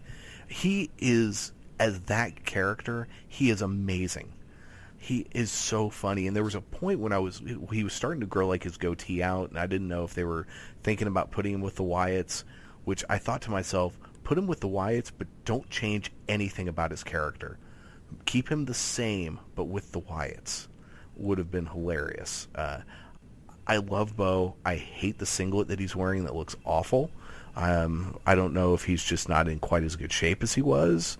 Uh, not that I can talk because I'm a fatty, but I, yeah, I they just don't. I think Bo Dallas is one of those guys that that Vince McMahon looks at and goes, "I don't get it." yeah, I, I don't. I, I when I saw him on NXT, and I am a, not a necessarily I'm not a body guy, but I am when it comes to if it seems like it's a hindrance to your character, and he doesn't look like a wrestler to me, and he doesn't look like a wrestler that would be successful. So I'm like something about your something about you has to change. maybe he cuts his hair, maybe maybe he does add a little muscle or whatever, but something about his character has to change because when I look at him, he doesn't have the look. I mean, I look at him, I just like I I don't want to pay to see you wrestle. But he wrestles, he's a really good wrestler. Just I nothing special about him. Yeah, I see. I'm. I look at him. I'm like, oh, it's your dad with long hair. Uh, And you know, Mike Rotunda had a hell of a career uh, overall. He, he was he was never a main eventer, but he he had a hell of a career. So his look, I mean, his his hair really is stringy. Maybe he needs to do something different with his hair. Uh, but he, his personality is what I love. He Yeah. cracks me up, um, and I hate that they've just not been able to do much with him. But yeah, him with a jobber that made sense, and I do like the fact that they are using uh, enhancement talent um, on Raw because Yeah. uh, and they're probably gonna need to start doing it on SmackDown uh, since they have like six people. But on Raw, you've got so much time to fill.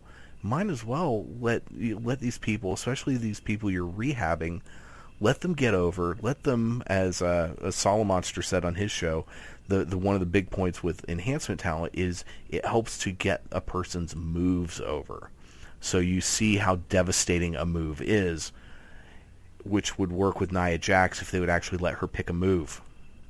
her finisher is supposed to be a Samoan drop into a power slam.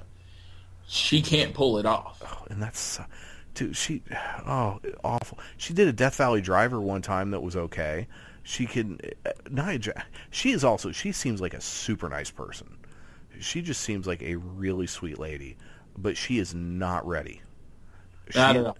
she is not ready dana brooke is not ready dana brooke's ready to be a manager They put it with the club. I'm okay with it. Yeah, her. Oh God, her is a mouthpiece for the club.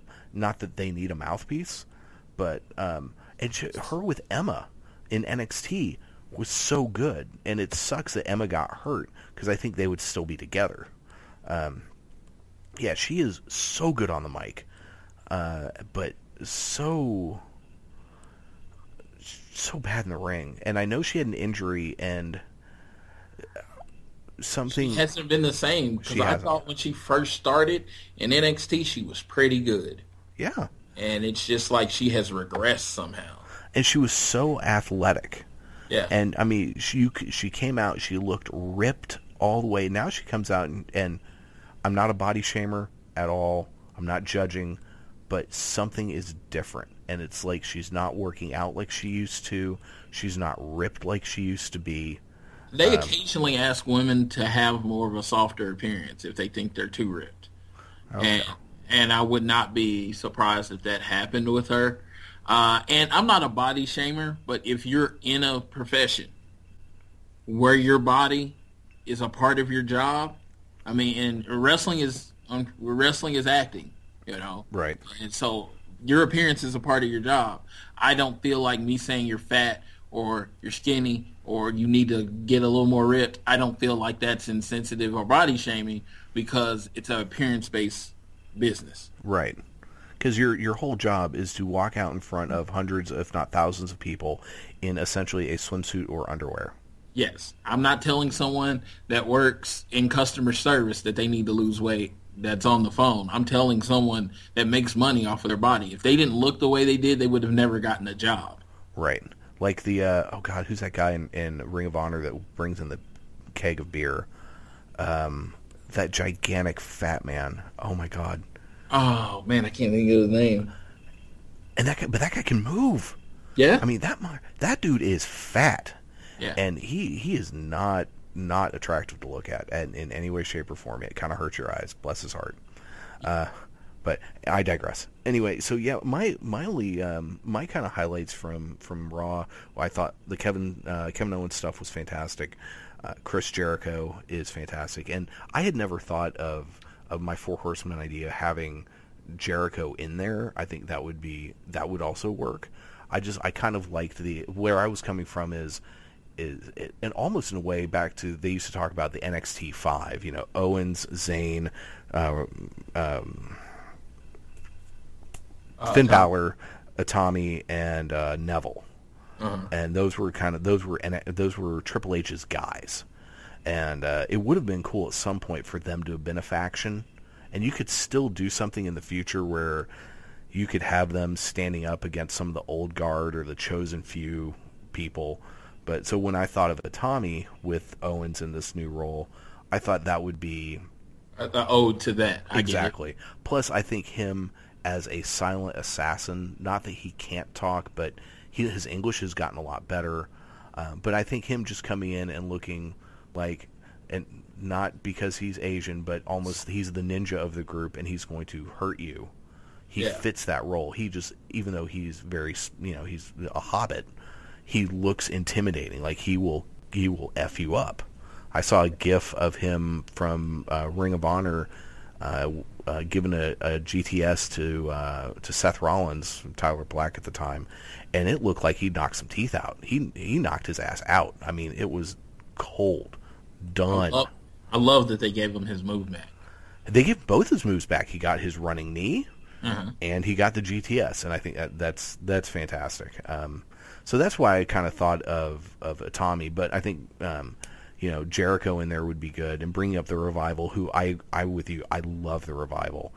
At first, I didn't like them because you know they were they were a job team. They kind of like Blake and Murphy were a job team, and then they got kind of a fluke win. Uh, but then they turned their personalities on, and if, if the whole time I'm like, you guys just really want to be Arn Anderson and Tully Blanchard, and you're just bad knockoffs.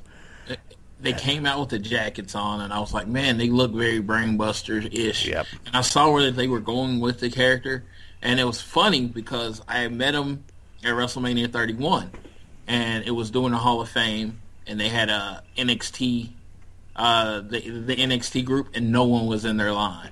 And I met, a, I they signed my things, and I got a picture with them, and they're like, "We're gonna be tag team champions." They told me that, and I was like, "Hmm." And I was like, nah, you're not. You're both like 5'10 at the tallest. you don't have a look. You're not ripped. You know, the WWE hates you. And then they've gotten themselves over so well. and they're so good. And Yeah, it's they are. They are. and you listen to you listen to podcasts all over the place, and a lot of times the general consensus in the last six months have been the two best tag teams in all of professional wrestling are the Revival and American Alpha. Yes. and, and yeah, and then you had their match against um, you know Johnny Gargano and Tommaso Ciampa, which was phenomenal, and they told such a great story in that match. Probably the best tag team match I've seen in 10 years. Easily. Yeah, I could I could go with that because you've got you know you've got uh, Tommaso and and Johnny are fantastic together, Yeah. and you know they're slowly planting the seeds for the Tommaso Ciampa heel turn.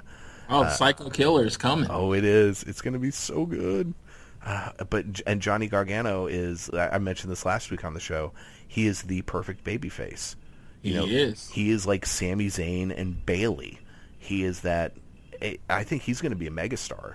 I can see if, if unless his size just completely hampers it with this cruiserweight division, which one of the highlights I thought was the v- cruiserweight vignette uh, of the last two weeks were anytime I'm watching WWE television, especially Monday Night Raw, and I see freaking Cedric Alexander on there, I'm losing my mind. I'm like, that's fantastic. Cedric Alexander on WWE TV. He's my favorite in the CW. He was my favorite in the CWC as far as my favorite wrestler. Oh yeah, um, he was mine as well. Uh, it, uh, yeah, he's just, I, and I first, I first discovered him. Um, I found a match. It was a PWX match that he had with AJ Styles. I think in 2014, and I found it on YouTube, and it's amazing. It's just so good, and it was like my third favorite match of the year that year. Uh, second, it might have been second or third, It- um, and I just so I've been a fan of his ever since. I loved his work in Ring of Honor. I even liked his heel turn and his, his him with Veda Scott. I thought it was great. It added a new dynamic to his character. His work in, in the Cruiserweight Classic has been fantastic. That match with Kota Ibushi, it's that's going to be one of the you know that's in top ten match of the year Yeah, definitely. easily. The whole afterwards, him cry, you know, him in tears, uh, the crowd chanting, "Please sign Cedric." Triple H coming out, giving the thumbs up. Oh man. And if I'm really hoping that the WWE learns from the mistakes of WCW. I know I'm asking a lot here. I know I am. But let's learn from the mistakes of WCW and use the cruiserweight division as a leapfrog point. Is all they have to do is look to, to New Japan, look at the success of Kenny Omega, who started out as a junior, he dominated the juniors, and he moved up and is now in the um, in the main event picture. And, and the fact that they um, gave you know Finn Balor, who is legitimately a cruiserweight, the main title right off the bat shows that things are different. And I, I think you can all of the changes as far as body type and whatnot, all you can point that straight back to CM Punk and Daniel Bryan. Definitely. those two changed the way WWE looks at things. Um, so I think someday we could hopefully, if they do it right, you could see a Cedric Alexander, a Johnny Gargano in the main event. Um, and I would just love that. But uh, but yeah, so the, I'm really looking forward to the to the cruiserweight division. That was one of the best things Monday Nitro had going for it. Real quick, do you Yeah. think Neville's gonna go cruiserweight? I think he should. Yeah, because I mean, I feel like he's in a rut right now. Oh, he is, and that's the saddest thing is is is he is so he's so good. So good, so good. I mean, he's never been one of my favorite wrestlers. Don't get me wrong, but that doesn't mean I don't acknowl- acknowledge how talented he is. His his run as NXT champion was fantastic. Him and Tyson Kidd were some of my favorite matches. God, those were good. His the match where he finally lost to Sami Zayn was my favorite match that year. I was in tears at the end of that. It was so incredible. Um, so yeah, I think he needs because he needs a rehab. Um, I'm, I was really surprised that Kalisto was moved put on SmackDown because I thought for sure they would have put him in the cruiserweight division. Yeah, yeah, and then Sin Cara's on Raw. That completely didn't make any sense to me. Now Sin Cara just needs to go away. He sucks. He See, that's the whole thing. I don't think he sucks. I just think okay. I think you're he's right. a pretty good wrestler. to be fair, he can he can go in the ring at times. He's real hit and miss. He's either a botch fest or he is great. That one of those last ladder matches, I can't remember if it was Money in the Bank or WrestleMania a couple years ago. He was in a ladder match for something, and he did some really cool, crazy ass spots. He can he can work. It's just like I said, he's stuck with that Sin Cara, Sin Cara character, and it's just it's one of those things. It was Triple H's character, and it was like one of his first uh, first big signings, and he's trying to make it work. And I'm just like, let it go. Yeah, and, he, and he's he's Sin Cara 2.0 Yeah. for Pete's sake. Eh, just I'm I'm Yeah. done with him. Hun- I liked him better as Hunico. I thought he was funnier. Yeah. Uh, so so yeah. So I think Neville does go into into the cruiserweights. So um, cruiserweights the classic this week. So it's a good segue. Uh, there were two matches. We had uh, Zack Sabre Jr. against uh, Noam Dar and fuck. What was the other one? Um, I forgot. Uh, T.J. uh, Perkins against Rich Swann. Yeah. So I have not actually had a chance to really watch these. I saw the end of the Zack Sabre Noam Dar Yeah, match. Yeah, that was a technical classic match. I mean, it was. I, I would say it would be like William Regal and Dean Malenko having a match. Uh, they put on a they put on a clinic. Okay. Uh, there was this um, there was a spot where they were both trying to put people each other in cross arm breakers, and I just thought that was brilliantly done because they were both technical submission wrestlers, and the move the move that actually ended the match, uh, it, it was kind of a Ring of Saturn's thing, and how he pulled it off, it looked like he actually hurt him. And then and it was like it was so well done. Uh, I've, I've become I went I went from not knowing really who Zack Sabre Jr. was. I heard him. Uh, I saw a few of his posts on Becky Lynch and the English wrestlers uh, pages. They were saying so happy for him, and I went from not knowing who he was to him probably being one of my favorite technical wrestlers, maybe one of my favorite wrestlers. I'm just gonna have to see him a little bit more, but uh, yeah, he's putting on amazing matches, and he's like paper thin. It's kind of he's so He is so skinny. He's Skinny, so but- lanky yeah. and yeah. So the the sad thing is though is he's not signing with WWE. He's Uh, not. Yes, he can't. Right. I don't know if it's a he can't. I, I don't know if if he if his Rev Pro contract is preventing him from from signing. Um, and I don't know how much of it is he just doesn't want to give up the freedom of doing the indies. Um, it, but that's also like Kota Ibushi is not signing. He isn't? No, that last I heard, he was not. Um, he had made comments about he is, he still has um, things in Japan he wants to do, wants to take care of. He has unfinished business in Japan. Uh, so yeah, as of right now, the ones that are sticking around um, are T.J. Perkins, Grand Metalik. Um, I think Tony Nese might be because he was on NXT this week. Um, crap, there was a list and I forgot. I've already forgotten who they are. Uh, obviously, Yeah, I thought I, I I truly picked Ibushi to win the tournament. I mean, like from the first day, I thought it, everything was going towards him winning the tournament. Yeah, I, I think it was most most people I've heard of have said either they thought Zack Sabre Jr. or Ibushi was going to win. So So this makes this coming Wednesday very interesting. We've got Grand Metalik taking on Zack Sabre Jr. I've been really impressed with Grand Metalik. He's had some his match with Tozawa. Oh, Tozawa has signed. okay, Yeah, his match with Tozawa was fantastic. Oh, that that whole show, that that episode, him against Tozawa and and uh, God, who was the other? That was the Brian Kendrick Kota Ibushi match. yes, Holy crap, those were so good.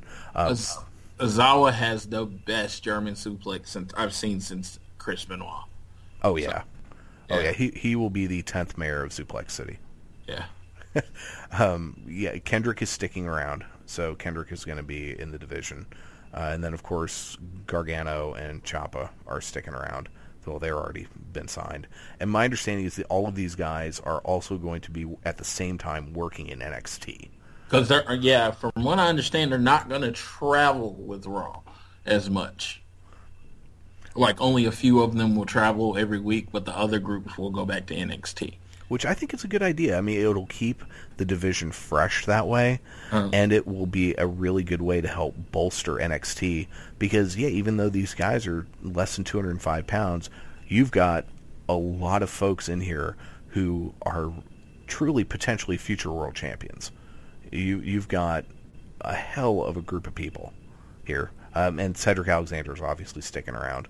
So I think it's uh, it's I'm really looking forward to Wednesday. So yeah, Grand Metalik against Zack Sabre Jr. Who do you think's winning this? Um, with the I'm gonna go with Zack Sabre Jr. Yeah, and then we've got Kota Ibushi against T.J. Perkins. I think TJP comes up with the upset in that one. Yeah, his, I I think had Ibushi and Sabre both signed, I think the finals would have been Ibushi versus Sabre. Definitely, I, I definitely believe that. Um, but yeah, and I, I wouldn't be surprised if T.J. Perkins wins the whole thing. Yeah, I wouldn't be surprised if the last match was T.J. Perkins against Grand Metalik. But I think you almost have to have either Sabre or Ibushi in there. to give it credibility, you know, to me, it's just you. I mean, when you clearly have one and two, probably the better better cruiserweights in the world, you need your champion to beat one of them. Yeah, and even just I would just say these these guys are great wrestlers. Yeah. You could you could put these guys in hell most of the most of the folks in this tournament. There are a few duds, but most of these folks in this tournament, you could you put them in there with Seth Rollins or Finn Balor or or Dolph Ziggler or AJ Styles, and you're getting great matches. That is true. I, I completely agree with that. Yeah. And it's like, yeah, I've I've enjoyed CWC as much as I've enjoyed anything, uh, like in wrestling. Period, and forever. I I don't I, I like I said I just think it's different that it's all about wrestling, and it's like you haven't dealt with that in a very very long time where it is just pure wrestling, and these guys are amazing at what they do. I agree. I think this is one of the best things WWE has ever done. And I hope they do it. I am very big on them. I hope I'm. I know every year you can't crown a cruiserweight champion, but I hope they do it every year, and I hope they get really good at bringing in indie guys, not necessarily ones that are going to stay. And do it like that. Yeah, and that's what's been so fun about this is it was, with the exception of you know um, of Gargano, Ciampa, and Swann, these are people that you have not seen regularly on any WWE TV. Um, so it's you don't know who's sticking around. Yeah. And they pulled in some of the biggest names in indie wrestling. Period. I, so yes, Sid asked for his release from ROH so he could be in this. exactly. That And yeah- and that was like the craziest risk to me. Yeah, and I loved that Mauro Ranallo mentioned that on commentary. Yeah. Uh, he even say he he gave up a lucrative contract with Ring of Honor to come here. I thought that was great, and the Mauro Ranallo and Daniel Bryan as a a a team doing the announcing have been just amazing. Uh, um, but so at the end of it, they're going to get this trophy. Do you think the winner will be then crowned the next week on Raw as the cruiserweight champion? Yeah, they actually announced that about a month ago. Oh, they did. Okay. Now I've seen some mock-ups of a cruiserweight belt that is essentially the same belt as the women's belt and the world belt, but in purple. Yeah. Have you seen that? Yes, and I just think that's people just being, you know, kind of d-baggish about it, but I actually like the belt. I did too. that they mocked up. I've actually liked it. That's the sad part about it is that I actually like it. You know, and it's funny, like IWGP, their belts are pretty much the same. The junior belt is just smaller than the heavyweight belt. you Right. know? And so it's like there's nothing wrong with the belts looking similar. I know. I agree. I'm right there with you. It gives a certain cachet, I think, to the whole thing. Yeah. Um. So, so yeah, that will it. It will be interesting to see who they bring in. Um, eh, but yeah, I, I'm with you. I think this is one of the coolest things I've I've ever watched, and it's been so much fun. And I'm really looking forward to having a you know if they do it well, having a good hour of Raw every week being nothing but great wrestling. Yeah. Um, his, I, I don't know if they're going to open the show with it. If they follow the you know the Nitro formula, then um, we're we're in for a treat. We really are. They just need to not screw up where WCW screwed up, and when these guys get to the point when they're ready to move on and up, let them move on and move up. I'm very the one thing that does bother me, and I will say this is that I don't think Michael Cole can pull off calling the matches. Oh, jeez. If Michael Cole doesn't have Vince McMahon screaming in his ear, he might. Is if, if we get Michael Cole that called uh, Beast in the East, Yeah, then that could be okay. If we get the Michael Cole that doesn't know the difference between a head scissor takeover and a hurricanrana, yeah, then we're in trouble. He, speaking of which, that son of a bitch blocked me. I asked him, please learn the difference between a hurricanrana and a head scissor takeover, and he blocked me. I'm like, really? It's Yeah. not. It's not that hard. And how many times has he called a? Um, oh God, now I'm blanking on it. He miscalls Michinoku drivers all the time, or he Yeah. calls other things Yeah. Michinoku drivers. Driver, Falcon Arrow. He calls the Michinoku driver. Yeah. Um, The Blue Thunder Bomb, he's called yeah. it. He- he calls he calls everything Sami Zayn does the Blue Thunder Bomb. Yeah, he does. It's so bad. But the the best part though is is sometimes um, Corey Graves will just correct him, uh, and which I've I, Corey Graves is great. Yeah. I just I can't say enough good things. My- I am so upset that he's not a wrestler. If he was a wrestler, he would probably be my favorite one. I never saw his in ring work, so I don't know how he was in the ring. I mean, he was okay in the ring, but his his gimmick, his confidence with the way he speaks, he literally makes you hate him. He's so good. He's if so good. we need, they need to get rid of him. They need to get rid of JBL. It's it's just it's atrocious at this point. Well, see, the, the whole thing with JBL and and Otunga, I think they're miscast right now. Uh, JBL has such a natural heel manager type vibe right now, uh, where it, he could do something like the Layfield family, as far as the Heenan family, and it would get over a lot of people that couldn't talk. Uh, and and if that's not what you want to do, you want someone younger that can really still bump. You go with Otunga who very much you could have the swarmy because he's married to Jennifer Hudson type thing. You can do the swarmy that he's using her for his money and he's using that to buy wrestlers type thing. I just think those two are so good at talking and they have such a natural heel thing about them that it would help. And I just think right now the WWE. I'm not saying everybody needs to be with Paul Heyman. I'm not that guy, but managers are missing right now because people can't get themselves over. I agree. I could, and I think that's a great idea. I'd never thought of that. Um, well, let's we're going to start wrapping things up here in a sec, but let's do talk about NXT, and then I know you watch TNA, which I don't, but I want to get your thoughts on what's going on right now on TNA. Uh, NXT is you can definitely tell is in a state of flux right now. They've lost a lot of people.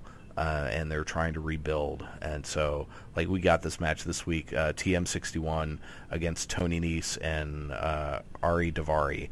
Um, Nese got a really big pop, I thought. And, really good wrestler. Yeah, I thought this was um, uh, this was actually a fun match. Uh, I TM61 or 61 or whatever their damn name is. The, the two things always stick out with me. One is that one of the guys looks just like Alex Wright. Okay. And, I agree with that. And the other one is, and I, I, I, mentioned this, I don't know if it was last week or the week before, but every time the announcers say Nick Miller, I think of New Girl. Because his name is. Yeah, and, and I get that, that the sad the sad Nick Miller song stuck in my head, and so uh, so yeah. That, but I think they're a good tag team. They just something's not quite clicking yet, and I don't. I don't know what it is. It, it sucks that they couldn't keep the the uh, "Mighty Don't Kneel" name, even though they kept the catch catchphrase. Yeah, they kept the catchphrase, and I think they should call the finisher that.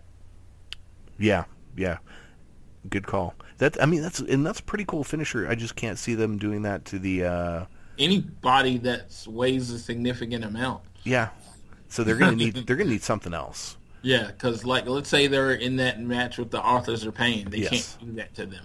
Yeah, yeah, and just... the, the authors of pain. I'm not sure what to think about these guys. They are they are they? Is it Spanish that they're talking when they're screaming in the ring? Because it's not English. I don't know what the hell they're saying. I think it's like I think it's like Tongan. Okay. Yeah. Okay. Oh, so they're Tongan. I okay. believe so. I don't don't quote me. I know nothing about these two dudes. Very rarely, again, that this happens. But it's just it just seems when they're screaming, that's what I thought they were screaming. But it might be Spanish. I don't know. I've never okay. like tried to isolate the sound. They did a really really good job of making sure no one knows who they are. Yeah, that they did. I I, I agree with you there. and uh, it adds so much to their character, the mystery and the fact that Paul uh, Paul Ellering is yeah. their manager, I think it's great.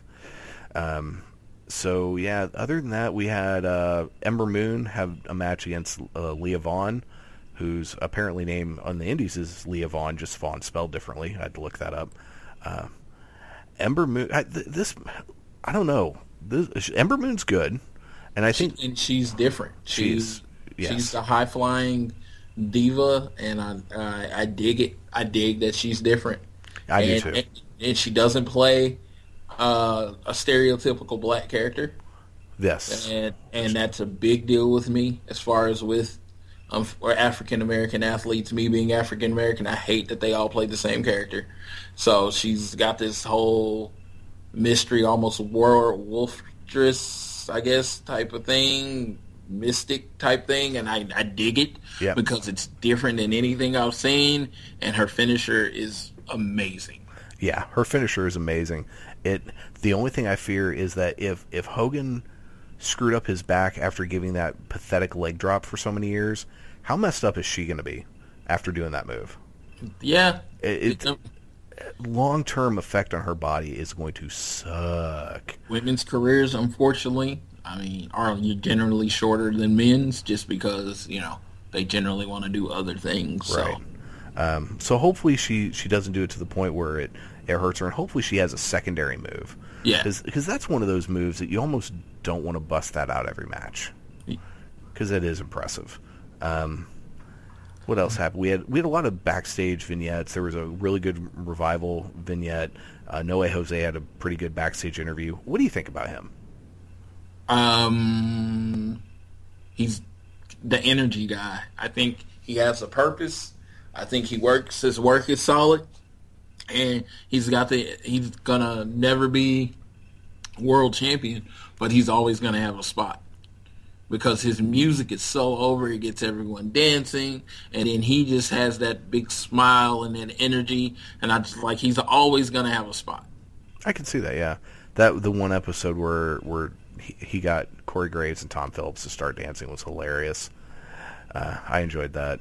Um, yeah, he and he is actually a, a surprisingly good worker. Because when I first saw him, I just kind of rolled my eyes and thought, "Oh God." Uh, I, I pretty much hate anyone because his first finisher was the wind up punch, and I'm I really do hate anyone that uses a finish or a punch as a finisher. I mean, I know it can work with certain people, but I think the only way it does work is if you just legit punch the person as hard as you can. Yeah. There was a guy and whose name I am completely blanking on back in the NWA. Uh, Ron Garvin. Thank you. He had a great punch. Yeah, the hands because he used to just punch people. He did. I mean, like, like if you read any biography where he's mentioned, he would just punch you. That was his hands of stone was him punching you in the face. I had to say his win when he won the title against Ric Flair. Even though learning, you know, about it years later, that it was it was they just wanted to get the title off Flair so he could re-win it at at um at Starcade, and that's what everyone was like. Nope, I'm not going to do that. And he was like, I'll do it. Um, so that kind of diminishes that, but I, I I loved him at the time. I thought Ron Garvin was great.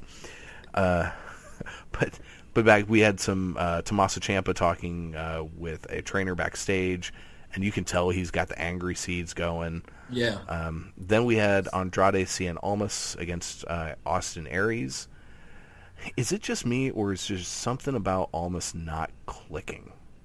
Um, I, I feel almost the same way as I feel about Apollo, as he really doesn't have a character. I mean, his character is that he wears a hat. Which he didn't wear this week, thank God. So that kind of took away from his character. He had a hat and suspenders, man. That was his character. And it's just, I don't, I like I said, I I think he can work. And I think he has a great lucha style. Don't get me wrong. It's just, right now, he doesn't have a character. Uh, the the head writer of NXT for like all the years when NXT was amazing is now the head writer of SmackDown. Oh, no wonder So- SmackDown is good. So NXT is just it's there's no storylines. Yeah. There's nothing going on with it, and I just I honestly find it it's only an hour. That's why it's not too difficult to watch. But I kind of find it difficult to watch, I, I can see that. especially with Asuka and Shinsuke doing mic work, which their English is okay, but they don't know how to put the inflections on the right words right now. So it's kind of like struggling to because I think Asuka seems like she's going closer to heel.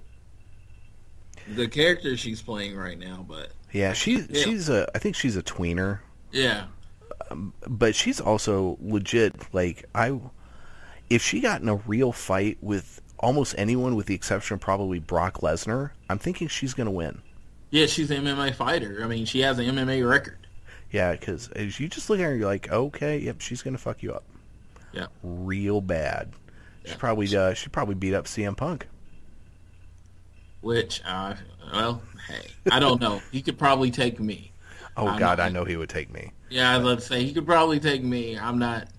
I, I, uh, I like I said, I, I definitely wish him the best in his future endeavors.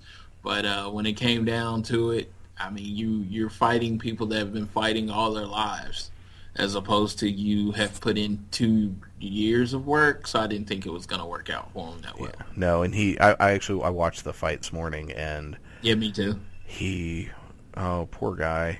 He He, looked was he was so gracious, he, which was great. completely out of place. I mean, there's nothing you could be other than humble when you get beat like that. It wasn't even close.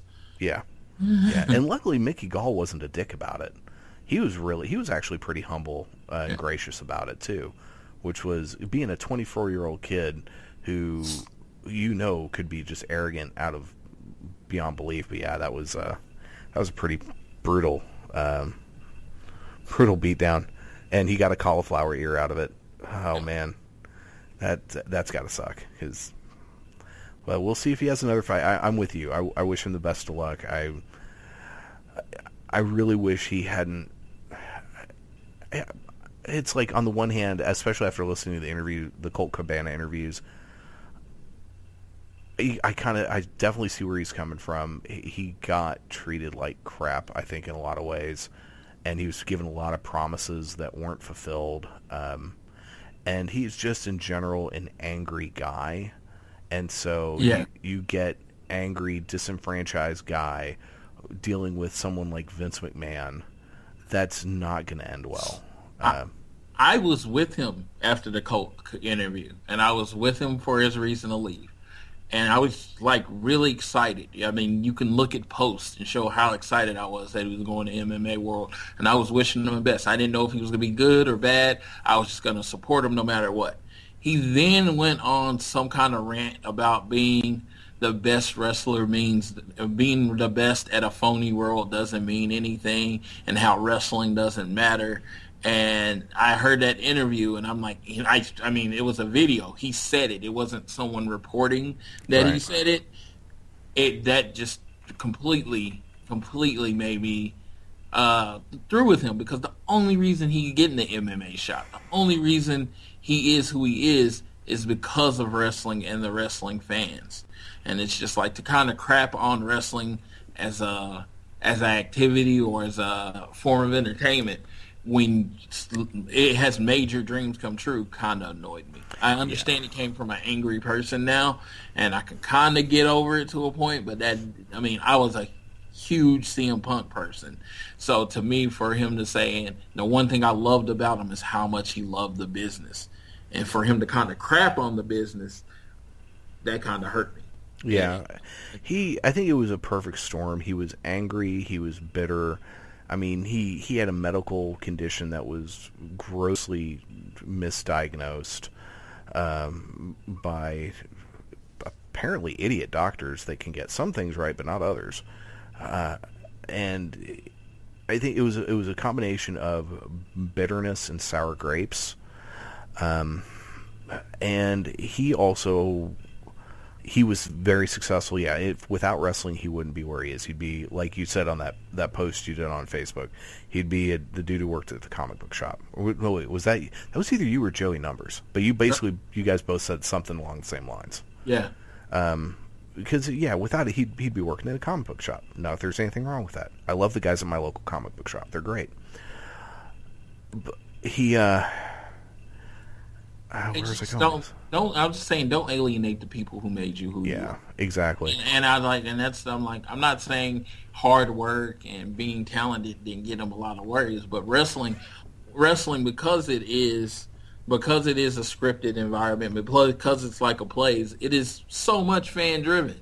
Yeah, exactly. And the thing I think that yes, it's scripted, but I think honestly, if you compare MMA and boxing and professional wrestling, as far as in the long run, w- doing which career does more damage to a person's body, I think that professional wrestling does the worst, especially someone working in WWE because they're working what three nights a week, three four nights a week at least, doing matches. Yeah, it's scripted, but you're still falling on your head.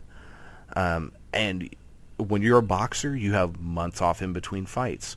When you're an MMA fighter, you have months off in between fights. So I, I think that I think boxing is probably worse for you than, than MMA because of this all the constant straight shots to the head. And MMA refs are much quicker to end fights just to say no, this dude's done than boxing refs are. Um, but I really think that all things considered, uh, it is a lot harder to be a professional wrestler, and they don't get the credit for that. Yeah. The, the the hard work that these these guys and girls do, the the toll they put on their bodies, it is crazy. Um, so yeah, they I think it's harder to be a great, great professional wrestler than it is to be a great MMA fighter and a great uh, boxer because it's so much of stuff is out of your control when it becomes a great wrestler. exactly. Yeah, so much stuff is I mean, like because think about uh, wrestlers that you can say they're great in the ring, great in the great on the mic, you know, great at selling, and, you know, everything that's involved with being wrestlers, it's a handful maybe that are great at everything. Like Cesaro is one of the best in-ring workers in the world. I wouldn't even put him in the top hundred as far as on the mic. You know, he's I mean he's a great in-ring performer, but if you look at the whole body of work, he's not necessarily great at everything. So it is rare when you meet uh, when you have somebody in wrestling that's really great at everything. Hulk Hogan was a shit in ring performer. Oh, he was but terrible. yeah, he was a shit in ring performer, but he could get over on the mic. Yeah. So I wouldn't even, like when they say top five wrestlers all the time. He he's never in my top five, but it's just that's why it's so much more difficult. Yeah, I, I, I agree with you there. And you know, the interesting thing about Hogan is apparently he had a run in Japan where he actually had really good matches. Yeah, And you could always tell if if you were watching a Hogan match and it was a good match, that meant he was about to job. yeah, The only exception to that is that match with Sting at Starcade, and that was because he screwed Sting over on that. Uh, but you think you think about the the match he had with Ultimate Warrior, probably the best match of his career. He laid down. Uh, he had a match with Arn Anderson that was really good. He laid down. Um, so every time he lost, it was a really good match. If you go back and you think about the match he had with, he had a match I think at WrestleMania with uh, Macho Man one year, and it was for the it. title, and that match sucked. yeah. It, it sucked bad, and and Macho Man hit him with like five or eight elbow drops. he no sold the elbow. I, I that angered me even when I was young. Yeah. and I didn't know what no selling was, and I didn't know it was scripted at the time, but that angered me. Yeah, I'm like, I, I me too. I'm watching it on Scramble Vision because my parents would never let me get the pay-per-views. Uh, so I'm watching on Scramble Vision, and it's like one after another after another. Hogan kicks out, hulks up, a couple punches, a boot, and leg drop of doom, and wins. I was so pissed. Yeah, Hogan. Uh, Hogan. There would just like there would be no wrestling without Vince. There would be no wrestling to today in its modern form without Hulk Hogan. I appreciate everything he did done for the business, but yeah, he is uh, one of those people that I like don't get. Yeah, he he was a he was a, a bad worker because he he would only he could work he could do a good job when he wanted to, and the vast majority of time, I don't think he did. Plus, it from all accounts we can tell, he's an asshole of a person, so Yeah. complete just piece of crap. So uh, And he, you know, he believes he gim- his gimmick. He believes he's the greatest wrestler of all time, and it's just he wasn't even he was never the greatest wrestler in his generation. He was yeah, if you're if you're gonna do like a, a Mount Rushmore of the overall biggest and most important wrestlers in history, he's on it. yeah, You can't deny that. Uh, but as far as wrestling, as far as in ring work, wrestling ability, he wasn't even in the top twenty of his era. no, You, you go back to the '80s, you had. God, he, I mean, he couldn't hold a candle to someone like Haku. Macho Man, Ricky Steamboat. I mean, Yeah. just like the, uh, Jake Roberts, the amount of great wrestlers that were on. Flair. Yeah. Oh, I mean, I mean, like when I was young, Flair was the champion and Hogan was the other champion. Yep. And that, that moment when Flair when when Flair showed up on WWE TV and and Bobby Heenan had the big gold belt Yeah, crossing thought, the streams. I, that thought was it was stuff. building. I thought that was building to Hogan and Flair at WrestleMania. Of course, yeah. So many missed opportunities Yeah. with that. But um, real quick before we get out of here, uh, TNA. What's going on with TNA? TNA, um, uh, the Smashing Pumpkins got Billy Corgan. It looks like he's buying TNA. I think that's the ultimate goal here. That's why they made him the president of the company. And um, they're they're building. They're trying to build EC3 as their number one face, and Bobby Lashley as their number one heel. They did this press conference where it uh, turned into a brawl type thing it looked horrible. Uh, it just looked it looked it looked bad. It looked really cheesy, and you could just tell everybody that was at the press conference was a TNA employee. And when they started fighting, no one went to stop it. No security, no anything. So it came off very scripted that way, uh, which it was, of course, but it, it, it was supposed to be spontaneous. And it just came out as a scripted fight, like a backroom brawl. The delete or decay thing, uh, and like I said, I'm just hitting on the big parts. The leader decay with Matt Hardy, Jeff Hardy, it is completely different uh, than anything I've ever saw. It's like they took Lucha Underground and what Lucha with their back statements and turned it up uh, to like 20 uh, because it's like they have the fireworks and the fighting and Jeff Hardy is fighting crazy Steve underwater and he looks like he's drowning him.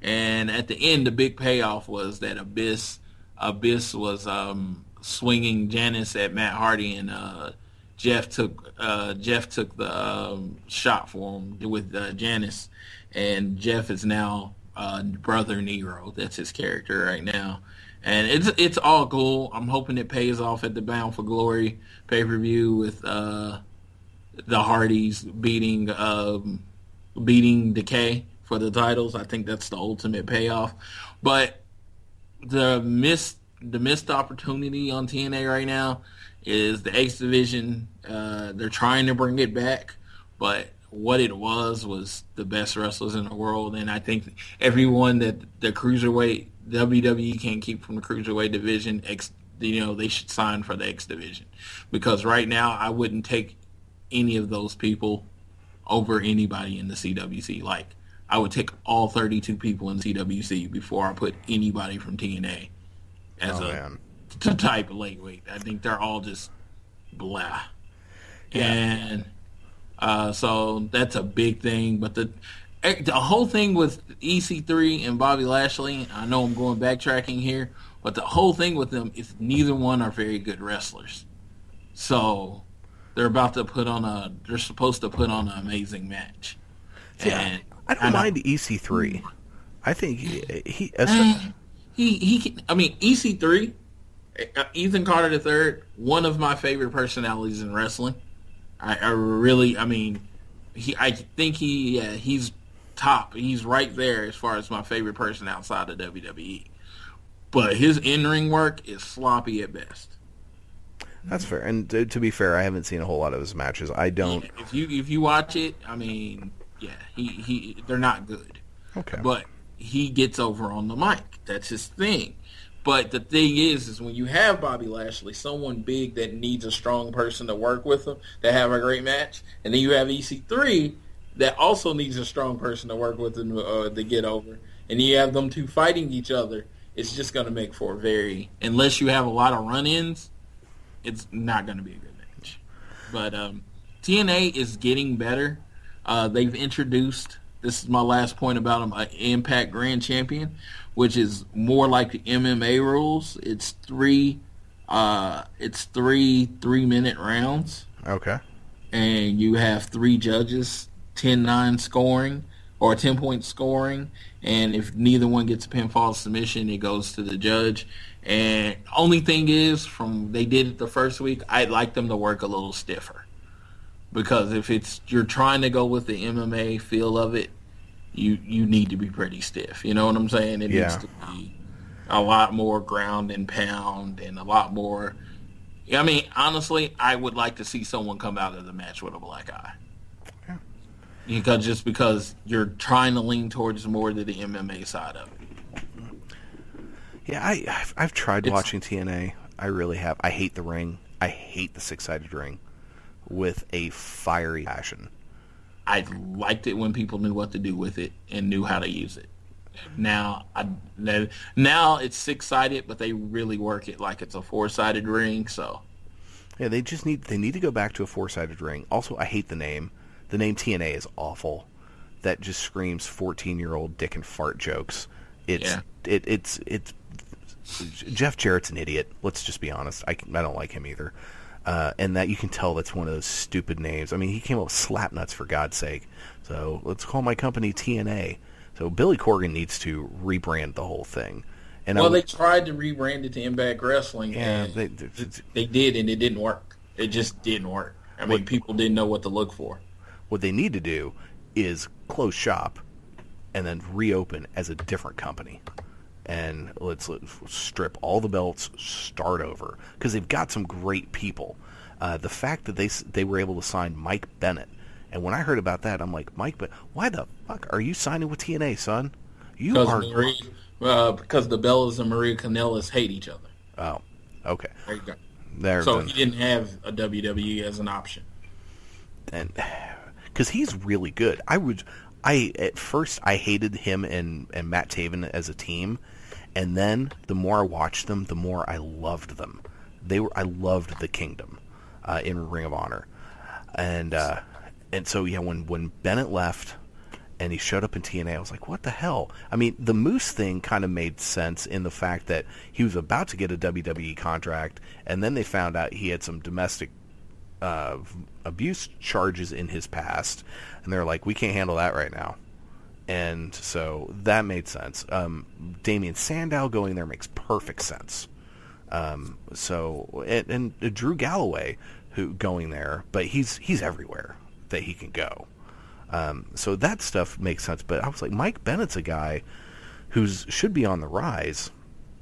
And not no offense to to Damien Sandow or Aron Rex, who's a guy who's just who's going to try to show the WWE that he actually had something and they just squandered it. Um, so he was coming from a place of I need to prove myself, kind of like Galloway, whereas Bennett's coming up through the Indies, and you don't necessarily. I mean, granted, it's changed now. Now that Bobby Roode, Austin Aries, Samoa Joe, and AJ Styles are all successful in WWE in one form or another. The the the TNA stink isn't what it was, but it just I'd still. But now knowing the Maria Kanellis thing, I hadn't put two and two together with that. Uh, so so yeah, and, and Yeah, he didn't have the option. that, and that that's sad because he's really Well, good. They're, they are a package deal. They, I mean, they are very much open about that. That they are a package deal, and yeah, Maria was very outspoken about how much she didn't like the Bellas and how it looked like she was coming back to the WWE, and they blocked her coming back. And I don't think that's gonna go away anytime soon. which sucks because I think those two in WWE together could be gold. Um, so uh, so yeah, I think uh, I think that's gonna about do it because I know neither one of us were able to watch Lucha Underground, and uh, I haven't really seen much of season two. I was just gonna start watching season three.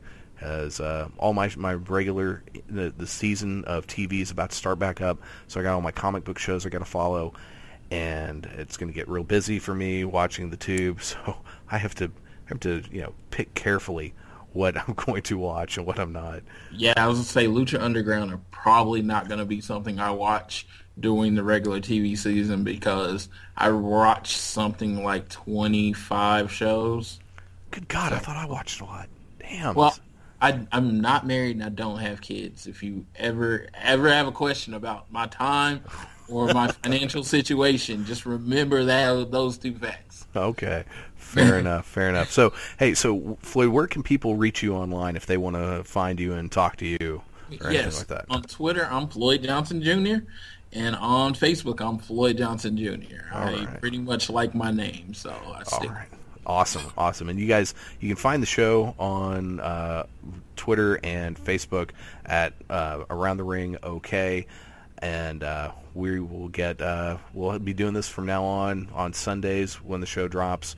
And so next week we'll talk about Backlash. We'll talk about the Cruiserweight Classic Finals, which I'm probably looking forward to a little more than Backlash uh, actually a lot more really because I'm really curious what other matches they're going to have. We know that Gargano and Ciampa are going to have a tag team match against somebody, but oh, it's so just so looking forward to that. And uh, are they still going to have an episode of NXT, or are they preempting NXT? I think they're preempting NXT, but we'll see. I think no, yeah, I think they're preempting it. Okay, I think it's from seven to nine. all right. Well, thank you, sir, for joining the show. This made it so much better. This two and a half hours just flew by, and uh, we will see you guys next week. Take care, everybody. All right. You've been listening to Around the Ring on the Spark Radio Network. All you have to do is change your point of view. Bowie. Austin 316 says I just whipped your ass. This sucks more than anything that I've ever fucked before. What? It's for charity.